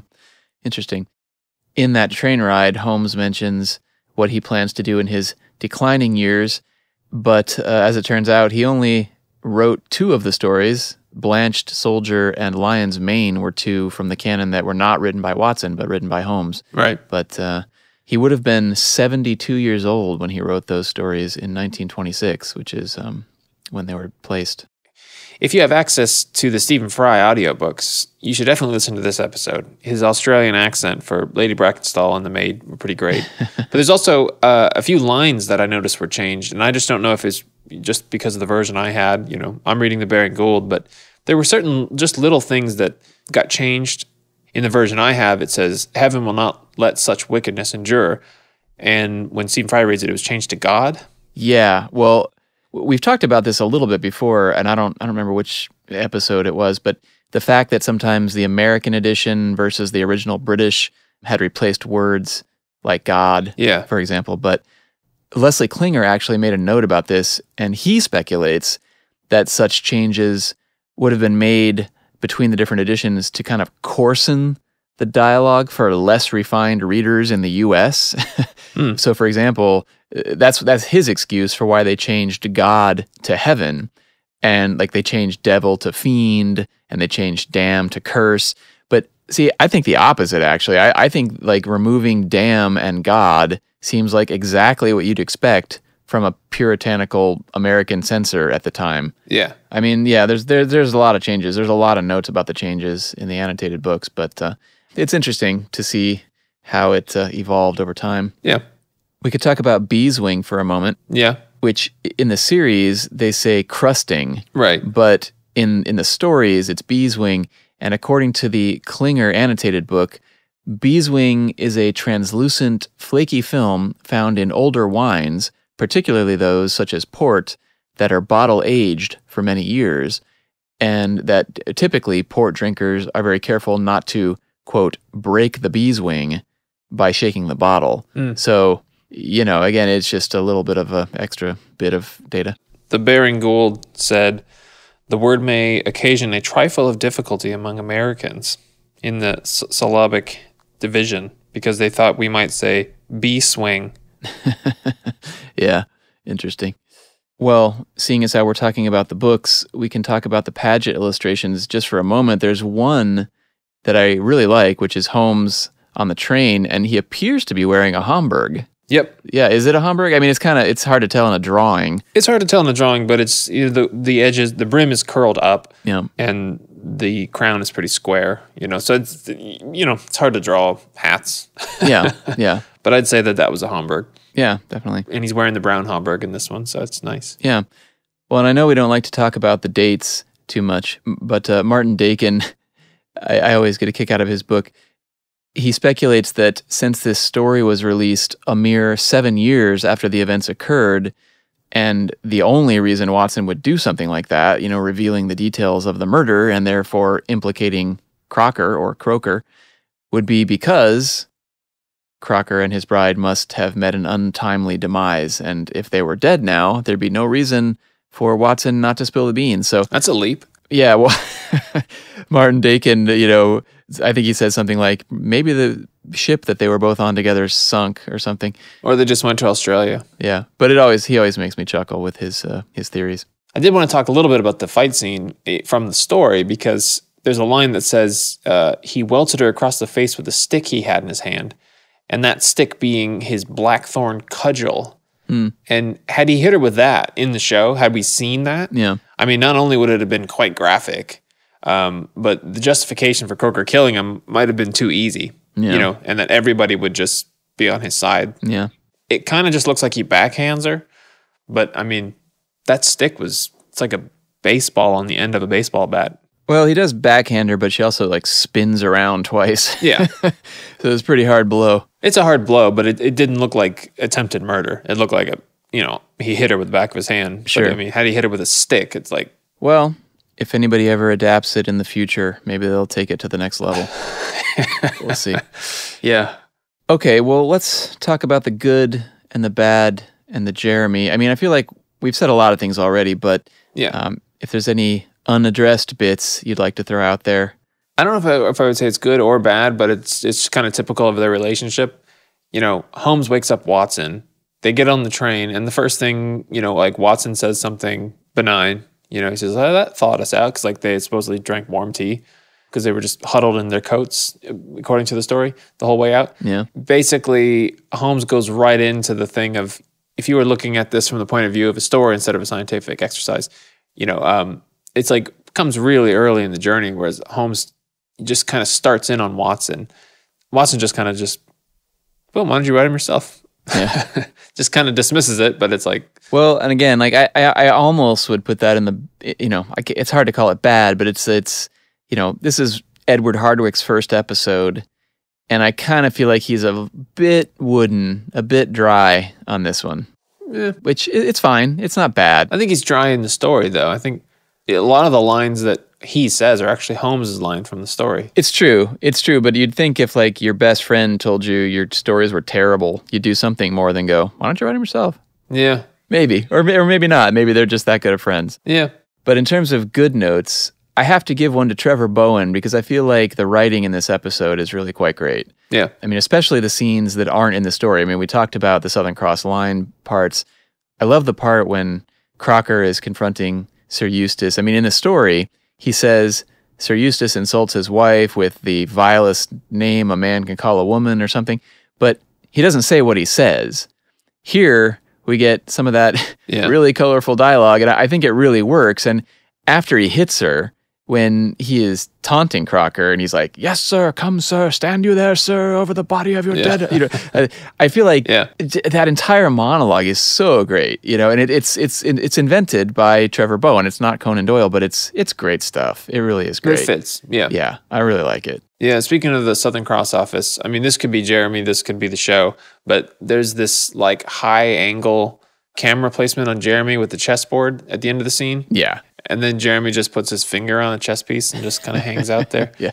Again, like I wondered, was like, was this another misreference or something? But he's almost looking at camera at the beginning of it, like Yeah. bewildered, and then he just turns away and puts his finger on the thing. It's like it's a great little moment. It's interesting that the the times when a director chooses to do a high angle yeah, on someone like that, you know, it, because it, it accentuates something, but it's never easy to figure out what it's accentuating to me. red. In that particular instance, it's the chessboard, of course, but Yeah. but it's also sometimes just done on the actor to. Make them feel smaller or make them feel Yeah. lessened in the in the scene or something. It's not something you see a lot of these days, I have to say, but it's it's neat. Yeah. Yeah, I mean, we've pretty much touched on all the other good points I had. So moving into the bad, I mean, again, there's so little bad. If I, I think the worst bad note I have is the Foley sound when Brackenstall hits his wife. Uh, It's like it's like a pretty bad stock sound. It sounds like a bag of potatoes being punched. I just watched uh, Indiana Jones though. Yeah, You know, yeah, it's like uh, if you haven't seen that in a while and you go and you watch Indiana Jones, you're like, oh yeah, I forgot about the sound effects in this one. yeah, exactly. But that's what it sounds like in this episode. It, it- Yeah. that's what I thought of. I thought of Indiana Jones. yeah, So it's just it's just a, it could have been a little more subtle, but uh, yeah, it's fine. right. I mean, really, the only other bad notes I have are things we talked about: the the painting kind of not looking like him, the the wires. Um, I don't know that I have anything else really. Oh, The wax. yeah, we got to talk about the wax. Yeah, Probably most super fans have noticed this, but I I mean, for those who haven't, it appears as though they created some kind of hardened wax or plastic pool of blood yeah, which they laid on top of the carpet, which I assume is because the real carpet of that house was being used and they couldn't stain it. right. But I mean, and that's fine. It, it could have worked, but sadly, when Sir Eustace dies, his head is like pushing up against the solid blood prop Yeah, and it kind of moves it and flops it a bit. And it- it's just at the start of the shot, but I mean, it- it's not unforgivable and it- it's not terrible. But even before HD, I noticed this one. yeah, it, it, it's just unfortunate. I, it- it's just doubly unfortunate because it actually is kind of a cool blood splatter pattern they tried for. Well, I wondered if it was that or if it was um in the story. He, they talk about you know his brains are all over the floor. Yeah. So I wondered if they were going for like a 3D. Like it wasn't blood, it was like goopy brain stuff. Yeah. Maybe. Even if they were just trying to keep it off the rug, like they could have just got a rug and put it under, you know, put it over the other rug. Yeah. And then just bled all over that. But who knows? You never know with scheduling and yeah, it's it's a little upsetting. Yeah, that one's that one's tough. Well, we can talk about the Jeremy. I mean, we already pretty much covered most of his great stuff, but I mean, some of it's worth revisiting. I mean, the hug with Lady Brackenstall. I mean, Yeah. I love it. it it's great. I mean, a- again, it's a, it's another one of these single shots. You know, it's not super long or anything, but he he exits the hug and he walks across the room, and his reaction is kind of like. I like the fact that his reaction is unbroken because it's almost like he's shocked, like stunned Yeah. by this hug, He and, and startled. yeah, And then kind of on the verge of disgust. yeah, and he carries that over as he walks away, like I'm shell shocked, like I don't know what just happened. Yeah. So I feel like they, they could have cut away, but it was a great choice that they didn't. So that was that was nice. Nice for Jeremy. Yeah. I think when they're outside, Holmes is writing the note for Inspector Hopkins, and then he just shouts, Chislehurst Station, and like the carriage just takes off. and Holmes is still on the complete other side. And like Edward Hardwicke even looks like he's genuinely worried that he's not going to make it, but Jeremy just runs around and he just hops in. It's like, I wonder I always wonder if that those kind of things are planned or not, but uh, he seems, you know, at home with jumping on and off of carriages throughout the, the whole series. So I wonder if it was, yeah. I do really like the final sequence when when Holmes and Watson are just sitting around smoking and drinking and yeah, Holmes is smiling and giving his little humphs and his little little laughs and you know it ends on a big smile from the two friends. I mean it's an extreme close up. yeah, But it is great. And I like the fact there's no music. I, I kind of wondered if there was no music because once again, this entire sequence is shot on the boom mic from across the room, so it's very quiet. Yeah. You can barely hear the little things Holmes is, is saying and doing. Same with the shots of Crocker in there too. Yeah, but then when you cut in on Watson in that last sequence and he has his final line and he says, It's just as well you are unique, Holmes, or whatever. I mean, it's 20 decibels louder Yeah. than the rest of the audio in that sequence. So, it, it, you know, it's not maybe not perfect, but I really like it. I really like that ending sequence. Yeah, and it feels like one of the drawings, Yeah, even if it isn't one. It feels like it was one. lots of great stuff. Time for a vote. Who who shall go first? You go first. All right. Well, I don't know what the popular opinion is on this one.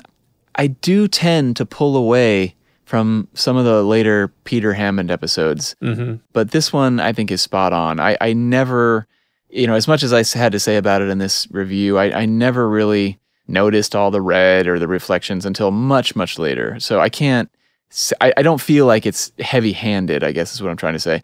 Yeah. I love the performances. I love the script. I really love the romance aspect of it. I love the way it all feels so genuine. It, it does, it gets my heartstrings. I think Jeremy is great. Edward, a little wooden, but it's his first one. And there's nothing bad about his performance. I think he was just still finding out who he was going to be. Obviously, there's the wires, there's a, you know some technical flubs, but any negatives I have about it, they're just so minor. I, I'm honestly, I'm tempted to give this one a ten. But I think the thing that holds me back is thinking about the other episodes, you know, and how it stacks up against my favorite episodes that I would give an unhesitating 10. Right. I, I don't think I'm quite there. So I think I can, in good conscience, give this one a 9.8. Hmm. And I'll, I'll leave it at that. I guess for me, I, I feel like when I think back on this episode, I enjoy it. I, think about like a lot of our listeners have written in saying how much they love this episode and how much it makes them cry, how romantic it is. That's not really what I go in for for Holmes. Mm-hmm. You know, like I appreciate that this one is there, that it exists, and this and that. But like you said, like when I think of my favorite episodes, this one isn't always up there. I think I would probably have to settle, and I, I I can never remember what my previous votes were, but I think I'd go for something around nine point five. That's respectable. Still an A. Yeah, absolutely. It's a good score. I feel like people are going to think we're being soft on these episodes, but they are very good, and we will be harsh soon. We're still in the beginning. We're still at the ones that are great. yeah, I agree with what you're saying, but I, I, I don't mind. I, I, these are almost all A's, in my opinion. yeah. All right. Well, let's check in with Mrs. Hudson for a segment we like to call Mrs. Hudson's Housekeeping. Okay, well, I think we can just talk really quickly about what we've been up to the last month or so. Um, I feel like we're always making excuses for why the show takes so long, but uh, long story short, Luke and I were invited to shoot Werner Herzog's next film Yeah. by Mr. Herzog himself, which was pretty unexpected. I mean, we had worked with him in the past on a few projects, but he had need of a small but industrious crew to help out at the last minute to help him shoot a lot of footage very quickly. And so he decided to give us a call. So within a week or so of the invite, we were off on a two week shoot across the United States with the great director himself. Yeah. Heck of an honor. Yeah. Not really a lot we can share about it yet, but No. once it gets announced and is public, we'll certainly let you know more. I guess all we can really say is that it was an incredible experience. I know I learned a lot and worked harder than maybe I ever have. So, Yeah, it was wild. Yeah. And just to kind of hear, you know, from from someone else, because you know I haven't worked with many other directors or photographers because we usually work with each other. yeah. So it was nice to be, you know hear things like lens choices and lighting choices from someone as established as him. Yeah, it was quite an adventure. And uh, I'm sure we'll have more to say about it when the movie is out there. For sure. Another thing we've been working on in in that time is capturing a lot of interviews with different cast and crew members from the show. So we will have a lot of stuff to share coming up. Yeah, lots of interesting stories. So, um, we'll be happy to share those with you soon. And for anyone who's been asking uh, merch, I added it to our website. So if you go to sherlockpodcast.com, uh, there's a link to the merchandise. And so if you need a Dancing Men shirt or an I Am a Breton shirt, they are available. Yeah, and we did actually sell out for a while of our posters and relics kits, but they are back in stock. Uh, so those are available to anyone looking to pick those up. All right, well, let's check out some listener telegrams.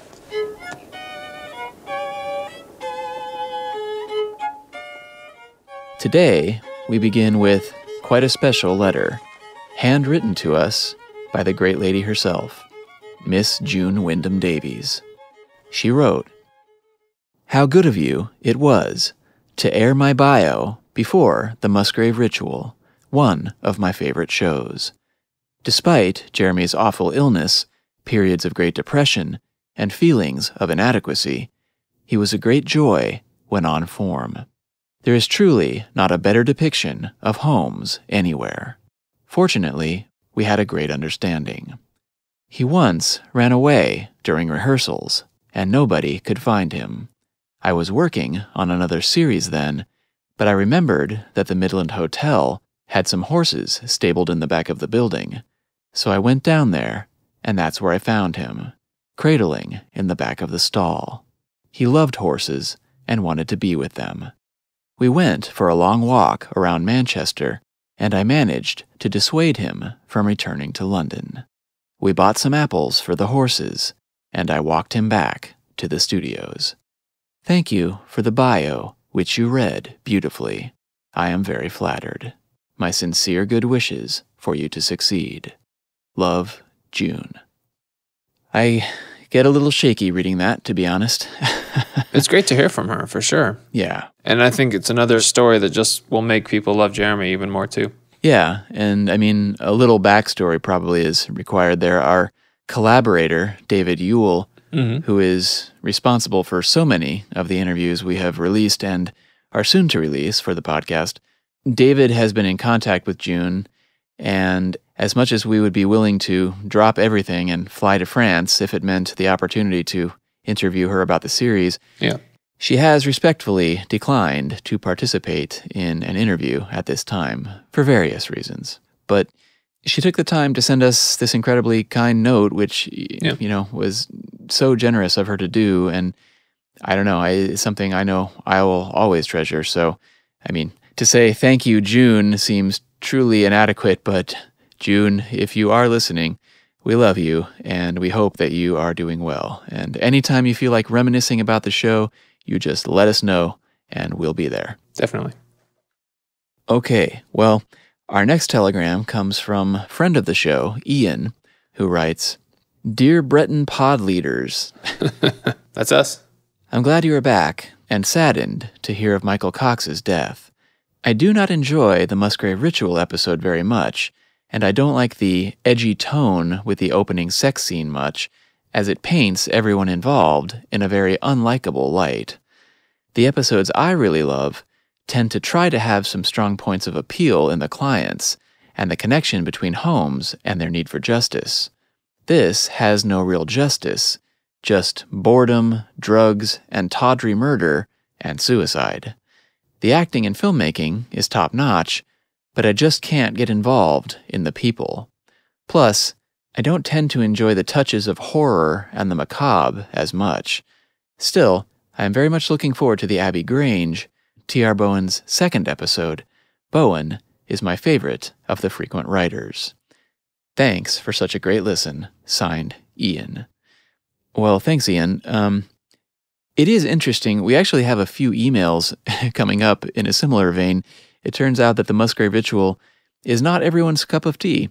Mm. I do have to say, though, uh, y- your use of the word tawdry is perhaps the right word. I mean, it does make sense here. I can certainly see how that would drag it down uh, for some viewers.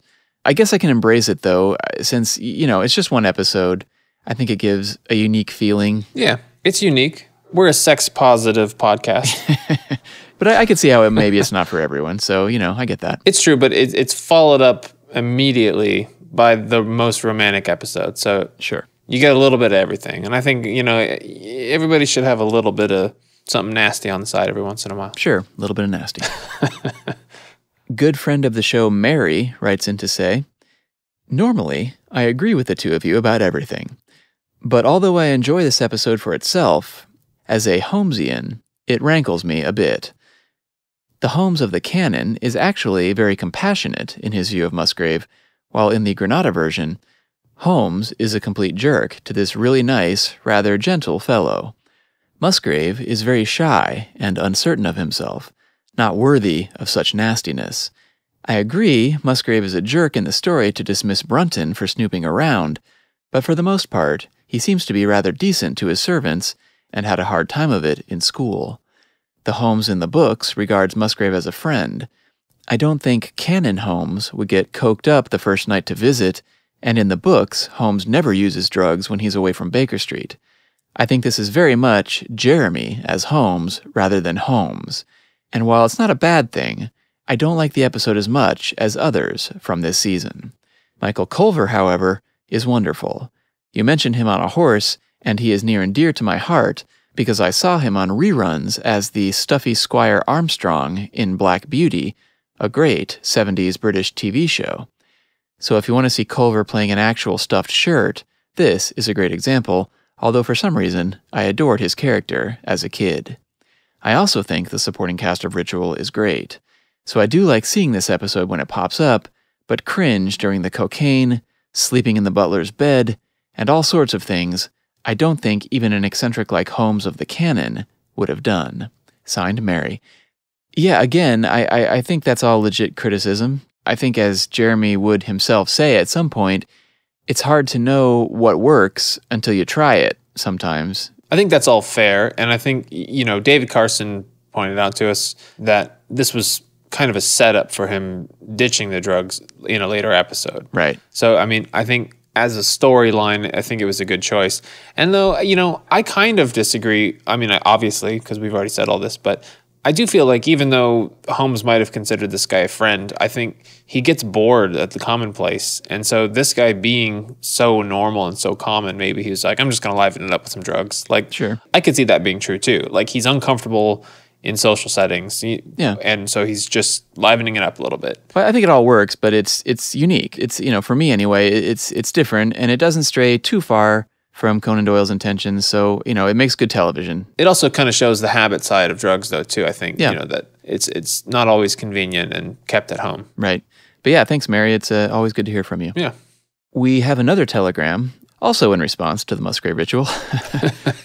Ellie writes in to say, This episode is great, partly because it follows one of the key rules of Sherlock Holmes adaptations. It's always better with more Watson. I especially like Hardwicke's jovial mood with cranky Holmes, his mischievous smile when he thinks of snooping through the old case box, his triumph with solving the final instruction and under, and his side eye at Musgrave after explaining about the personal equation. Mm-hmm. I hope this episode makes you hesitate a little more before answering the question who is the best Watson? Well, I don't know if it'll do that, but it, it's it's hard to argue with any of that. I mean, but as we've said in the past, both gentlemen are indisputably great. I mean, for for different reasons. Yeah. I myself, I, I just I never like having to answer the question who is the better Watson because, you know, even though I myself have asked it of others, Yeah. just because they are both so grand. I mean, we're we're so lucky to have both. I mean, think think of that. What if they got someone else to replace David Burke?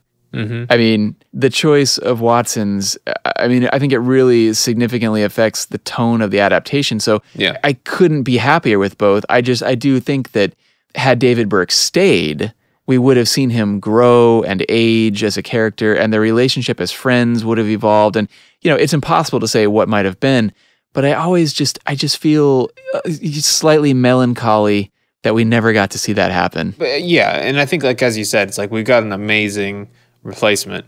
But I do I always think about um, auditions and how different they are if you're an actor or if you're on the casting side. Right. And and normally when an actor goes into an audition, they're thinking, how can I convince them that I'm the right person for this job? Whereas when you're on the casting side, you're just waiting for the right person to walk in. Right. And if David Burke walked in, to me it would be like he's the right guy. He just has everything Yeah. in my mind of what of what Watson is. And if David Burke didn't walk in and Edward Hardwicke walked in, he's so close Right. that you would be you would be ecstatic to find him. Yeah, but and, and honestly, you know, I, I said what I said about what m- could have been, but if that would have happened, if David Burke would have stayed, we would have missed out on Edward Hardwicke. So, I mean, Exactly. yeah, what, what can you say? They're- We got both. Yeah, they're both great. I'm, I'm glad it worked out how it did. The next telegram comes in from Andrew. He writes Hi, Gus and Luke. Thank you so much for all of your hard work on the podcast. It's really a fascinating listen, and you seem to have found a very Holmesian way to present yours and our passion with an investigative spirit, a calm authority, and a real eye for detail. Well, thank you, Andrew. That's nice of you to say. Yeah. I've been a Holmes fan since I was a teenager when I read all the books and was just old enough to see the later Jeremy Brett episodes first airing when I was growing up. I found him captivating, and despite other pretenders to the crown, he will always be Sherlock Holmes for me. No one else is close. A common feeling, I know. After hearing you mention the audiobooks read by Edward Hardwicke, I thought I'd see if you'd heard a series of audio recordings of the Holmes stories read by Robert Hardy in the early 1980s. Hardy, of course, went on to play Charles Augustus Milverton with suitable relish. When I first discovered Holmes, it was Robert Hardy's readings that I heard on cassettes from my local library. His readings are absolutely superb. His characterizations, his energy, his theatricality, and his incarnations of Holmes and Watson are, to my mind, the best out there. Certainly better than Hardwicke, a great actor, but I would say not quite right for this task. And dare I say it, even better than Stephen Fry. Hardy's voice seems to belong in the world of Conan Doyle, and his readings have a dramatic quality about them that I think you would both really enjoy. I've been looking for them in some digital format for years, and at last, in recent months, they have been reissued on the iTunes Store and here in the UK on Audible. I'm sure you could track them down too. If you've heard them, I'd be really curious to know what you think, or if they are waiting for you to discover them, I hope you'll like them too. Looking forward to the Abbey Grange. By the way, I live in Brighton, nestling just below the Sussex Downs, a great place to keep bees and free the mind. All the best to both of you, Andrew. Well, Andrew, um, actually, I don't know about you, Luke, but I had not heard about these audiobooks until now. I have not, but better than Stephen Fry? Blasphemous. Well, I'm determined to give them a listen, so once we've had a chance, uh, we'll definitely report back. But um, that's a fantastic lead, so thank you for sharing that with everyone. Yeah. And speaking of audiobooks, sometime back we mentioned the cassette tapes that I had come across. We finally got around to digitizing these uh, with some help from a very dear friend of ours whose name actually happens to be Mr. John Clay, Mm-hmm. good friend of ours. But we have just added those to YouTube. So if you're interested in hearing the 1994 audiobooks for The Man with the Twisted Lip, The Musgrave Ritual, The Priory School, and The Second Stain, read by Michael Cochran, but with audio clips from the Granada series, do check out our YouTube channel for those. I should say though, we posted those and they were immediately flagged for copyright. Mm. We're not monetizing them, but they are not available to listen to in the UK or Germany. Hmm. I'm sure that's just down to the rights they've negotiated, but yeah, unfortunately, we can't get around that. However, we posted them on our Patreon and there are no restrictions. So if you happen to be a patron of ours, you can listen to them right now. Yeah, and they're they're interesting. I mean, uh, they're not dissimilar to our podcast in that it's an it's a narrator with a different script inserting clips from the Granada series.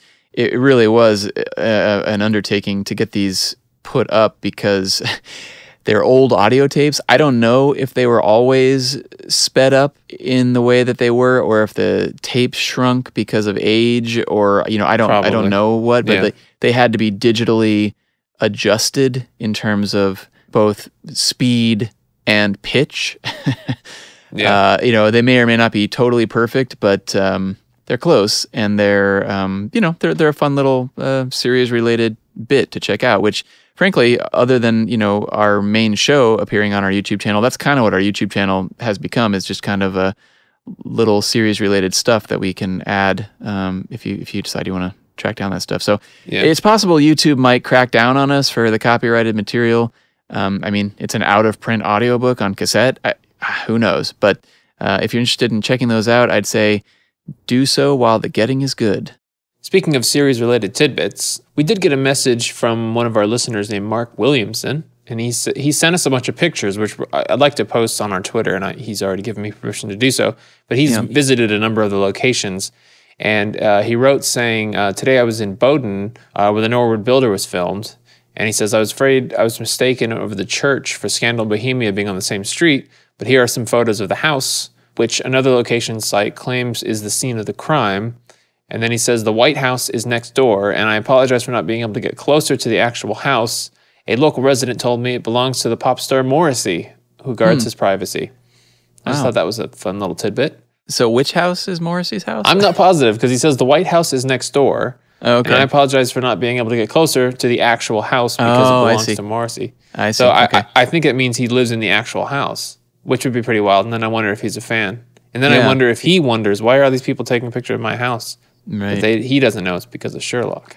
Yeah, and I think we have permission to share those photos, so hopefully we'll we'll get those up on Twitter soon, and Yeah. people can check those out. Yeah.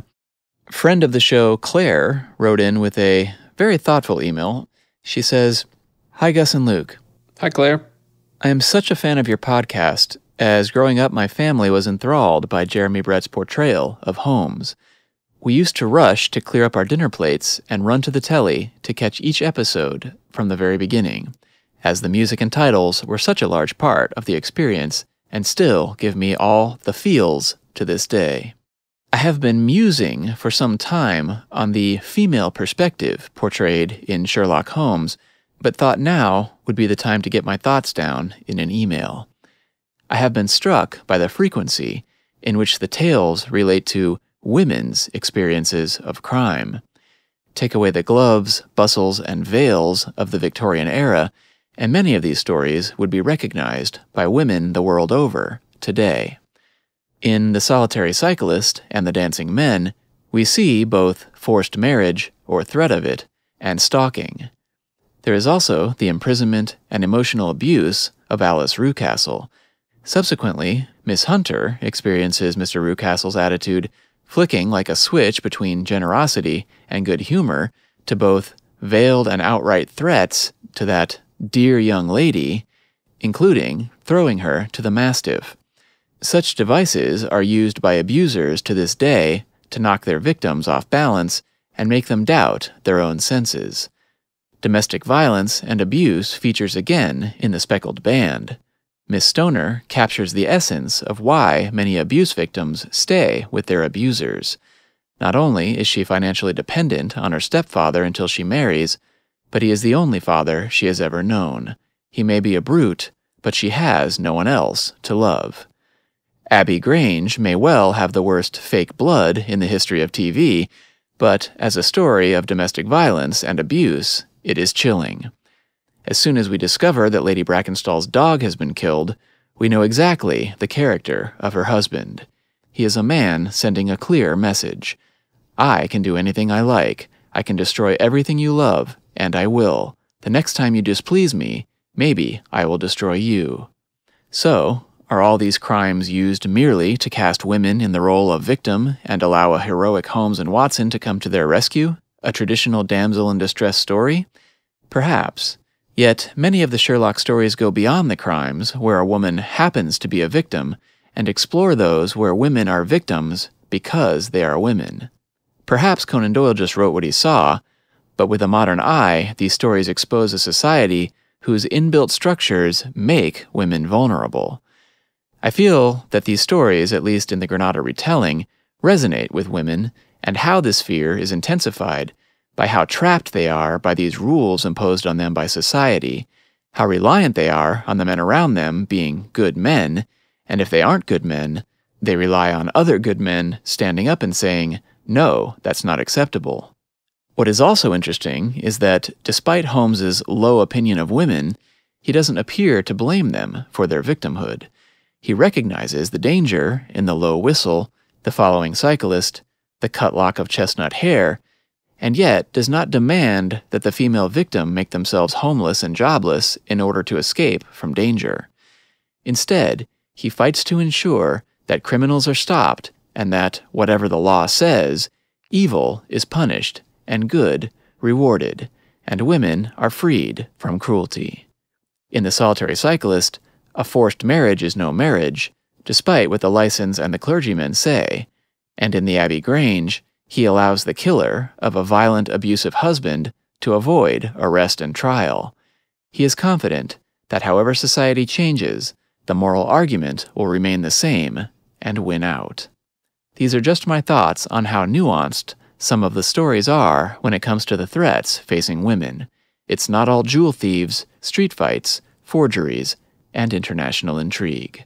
Keep churning out the podcasts. They are adding much joy to these restricted and worrying times we live in. Regards, Claire. Well, thank you, Claire. I mean, what an insightful note. I mean, obviously, we now enjoy the benefit of time and the yeah. historical lens, I guess, through which we can look back on these tales. But I don't know, as a guy, I have often wondered what the female perspective on the canon has been over the decades. So I, th- I think this is a great way to look at this. I mean, I sometimes have worried in the past that there is a bit of a damsel in distress element to these tales that, you know, could find itself sitting on the wrong side of more modern sensibilities but that's true but i think as she points out it's the behavior is pretty typical and predictable and right. not based in any decade or even century. True. I, I don't think you could necessarily consider doyle a feminist but for the time sure. I mean i think he you know the approach to these stories was possibly more measured and considered you know exploring those details and and what it was like to be a woman rather than just there's a damsel in distress we go and save her. It's like we do go deeper. Yeah. And you know maybe holmes isn't so emotionally engaged but he is dedicated to stopping evil and in terms of you know conan doyle's point of view i guess whenever i read anything older i try to look at it in the context of history you know I, I don't look I don't just go looking for negatives. I, I you know I look for positives and and not just with Holmes, but in all forms of drama. But I think that's important because I think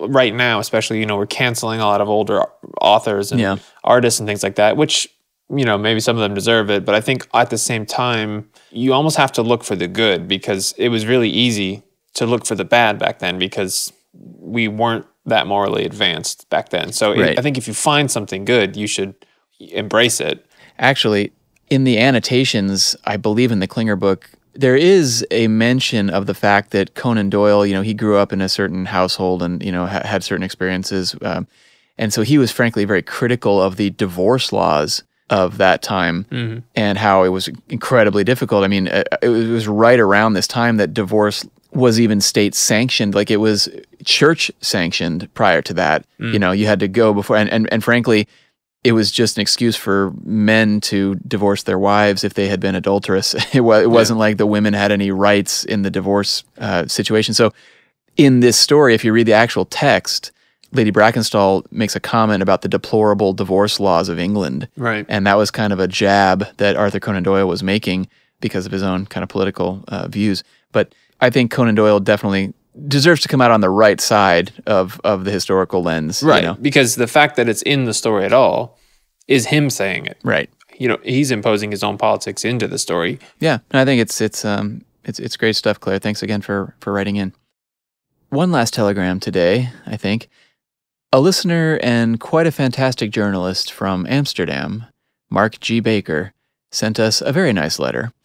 He wrote, the Adventure of the Two Holwerdas. Dear fellow Jeremites, it is my prerogative to compliment you on your excellent Sherlockian podcast, upon which I stumbled late last year. It is an absolute treat to revisit the Granada series, and I have made it my habit to listen to your most exquisite insights prior to watching another episode. As a seasoned journalist, I take pride in my own eye for detail but it seems you have raised the bar for dissecting minutiae to a whole new level. I am convinced, were Mr. Sherlock Holmes himself around today, he would be impressed with your powers of deduction. I would hardly have guessed one could deliberate, to take a hypothetical example, something along the lines of if you listen closely, you will find that the meow of the tabby Persian in the background at the end of scene 22 of The Retired Colorman was added afterwards and is, in fact, the meow of a grey British shorthair. capital, my dear sirs, capital. While on the subject of episodes never made, when I turn to the original stories, say Black Peter, I see before my very eyes Jeremy Brett in Allardyce's back shop, stabbing the dead pig with his barbed headed spear, rolled up shirt sleeves and all. Brett, not the pig. Hmm. and turning the pages of his last bow, I have to check whether I actually heard Edward Hardwicke say, I think not, Holmes. It is very warm. I must have been around 12 years of age when I first read the stories, starting with Dutch translations and switching to English soon after. As nutritious for the mind as it may be to read Sartre or Camus, there is no greater literary satisfaction than sitting by a fireplace with a cat on one's lap, a glass of port within reach, engrossed in those interesting little problems which the complex life of London so plentifully presents. If only I had a fireplace and a cat. Once the Granada series aired in Holland, subtitled, not dubbed, thank goodness, I was absolutely mesmerized by Brett's performance. Here was Holmes exactly as I had envisioned him. It was as if someone had secretly peeked into my imagination and brought the consulting detective to the screen. I have fond memories of watching the series with my mother. I must have been 14 or something at the time. Much to my delight, I saw through Brett's sailor disguise in the sign of four. My mother failed to do so. She passed away the same year as Jeremy Brett, but I have no doubt she would have been rather impressed with the expertise you gentlemen display. It is reassuring to know that one is not alone in one's appreciation of Brett's accomplishments. But let us not forget the string of other astonishing actors involved. Eric Porter, Colin Jeavons, Charles Gray, my word, the list is endless. Robert Hardy, for instance, who at the time I only knew as the good country doctor from All Creatures Great and Small. What a fantastically vile Charles Augustus Milverton he made. Or Joss Ackland as the sinister Mr. Rucastle. When I first watched The Copper Beeches, he scared the living daylights out of me. He still does, actually. And indeed, I may have found the solution to the mystery of who can be considered the better Dr. Watson. Edward Hardwicke does the best Hardwickian Watson, and in turn, David Burke does the best Burkean. Problem solved. There you go. Yeah. Praise be to the entire crew, in fact. Costumes, set dressing, locations, props, and music, everything is just down to a T. As appealing as Mr. Cumberbatch may be to a younger generation, and rightfully so, I do not think we will ever see more brilliant adaptations of the canon than those with Mr. Jeremy Brett. Do I not have any reservations? Well, the Eligible Bachelor episode went off the rails completely, if I may be so bold. Call me a purist, but it was like watching an egg dance during Hamlet's soliloquy. One supposes the scriptwriters indulged in a 7% solution in this case, but luckily, this proved to be one of the few exceptions. Righto, I fear that by now I have taken up too much of your time. Keeping in mind my favorite line from the canon, more sober men, as you may guess, than when they started, it is time for a snifter. My compliments once more for your spiffy work, and might I conclude in remarking that a posthumous BAFTA for Jeremy Brett would right a great wrong. Kind regards, Mark Baker. Postscriptum number one, regarding your surname, Holwerda, am I correct in assuming that you gentlemen are of Frisian lineage? I'll pause right there to say you are in fact correct, sir. Yes, and uh, we actually didn't know too much about our own lineage until not too long ago, but it turns out that yes, indeed, our name was a Frisian password at one point uh, to get into a hidden village somewhere in Friesland. Postscriptum number two, a little bonus. And uh, Mark offers up a few limericks here. Traveling through time isn't real. I'm sorry if that's how you feel. The Holwerda Bros in their podcast, It Shows, will take you through time with great zeal. and now that we're at it, here's another limerick. Though many portrayed him with zest, like Rathbone, Gillette, and the rest, I say unto thee, no doubt can there be, that Jeremy's Holmes is the best. well, what can we say? Thank you so much, Mark. I mean, yeah. uh, both uh, you know for your generous uh, reminiscences and your excellent contributions to the canon of Sherlockian limericks. The line I always think of when someone tells us we overanalyze it is, I thought I'd squeezed it dry, Mr. Holmes, but I see there was some left still, after all. Oh yes, Mr. Freddie Jones. It's a it's a great it's a great sequence. I, I have to say, Michael Cox didn't love what Freddie Jones did with that part, but we're we're a long ways away from getting to that, so we'll get there eventually. And we will defend him to the hilt. That's true. We love us some Freddie Jones. okay, well, before we hit the road, we have one more limerick from Mr. Baker, and it's apropos of the episode we just covered. So um, we'll leave you with this. His lordship's demise was a shocker. The wife nearly went off her rocker. But once we had heard her accuse three of murder, it turned out it was Captain Crocker. Excellent. Nice little Abbey Grange limerick for the road. Thank you, Mark. And thank you to all of our listeners for your continued support. As always, you can find us on the web at twitter.com slash sherlockpod. We are on YouTube as well. And please do send any thoughts and feedback to contact at sherlockpodcast.com. We greatly appreciate your telegrams. We also continue to add additional bonus content to our Patreon page, so please do consider joining us there at patreon.com slash Sherlock Podcast. And to all of our existing patrons, we thank you for sticking with us. The next episode is one that requires no fanfare. It's quite simply a classic. I hope you'll join us next time when we encounter the man with the twisted lip. Until then,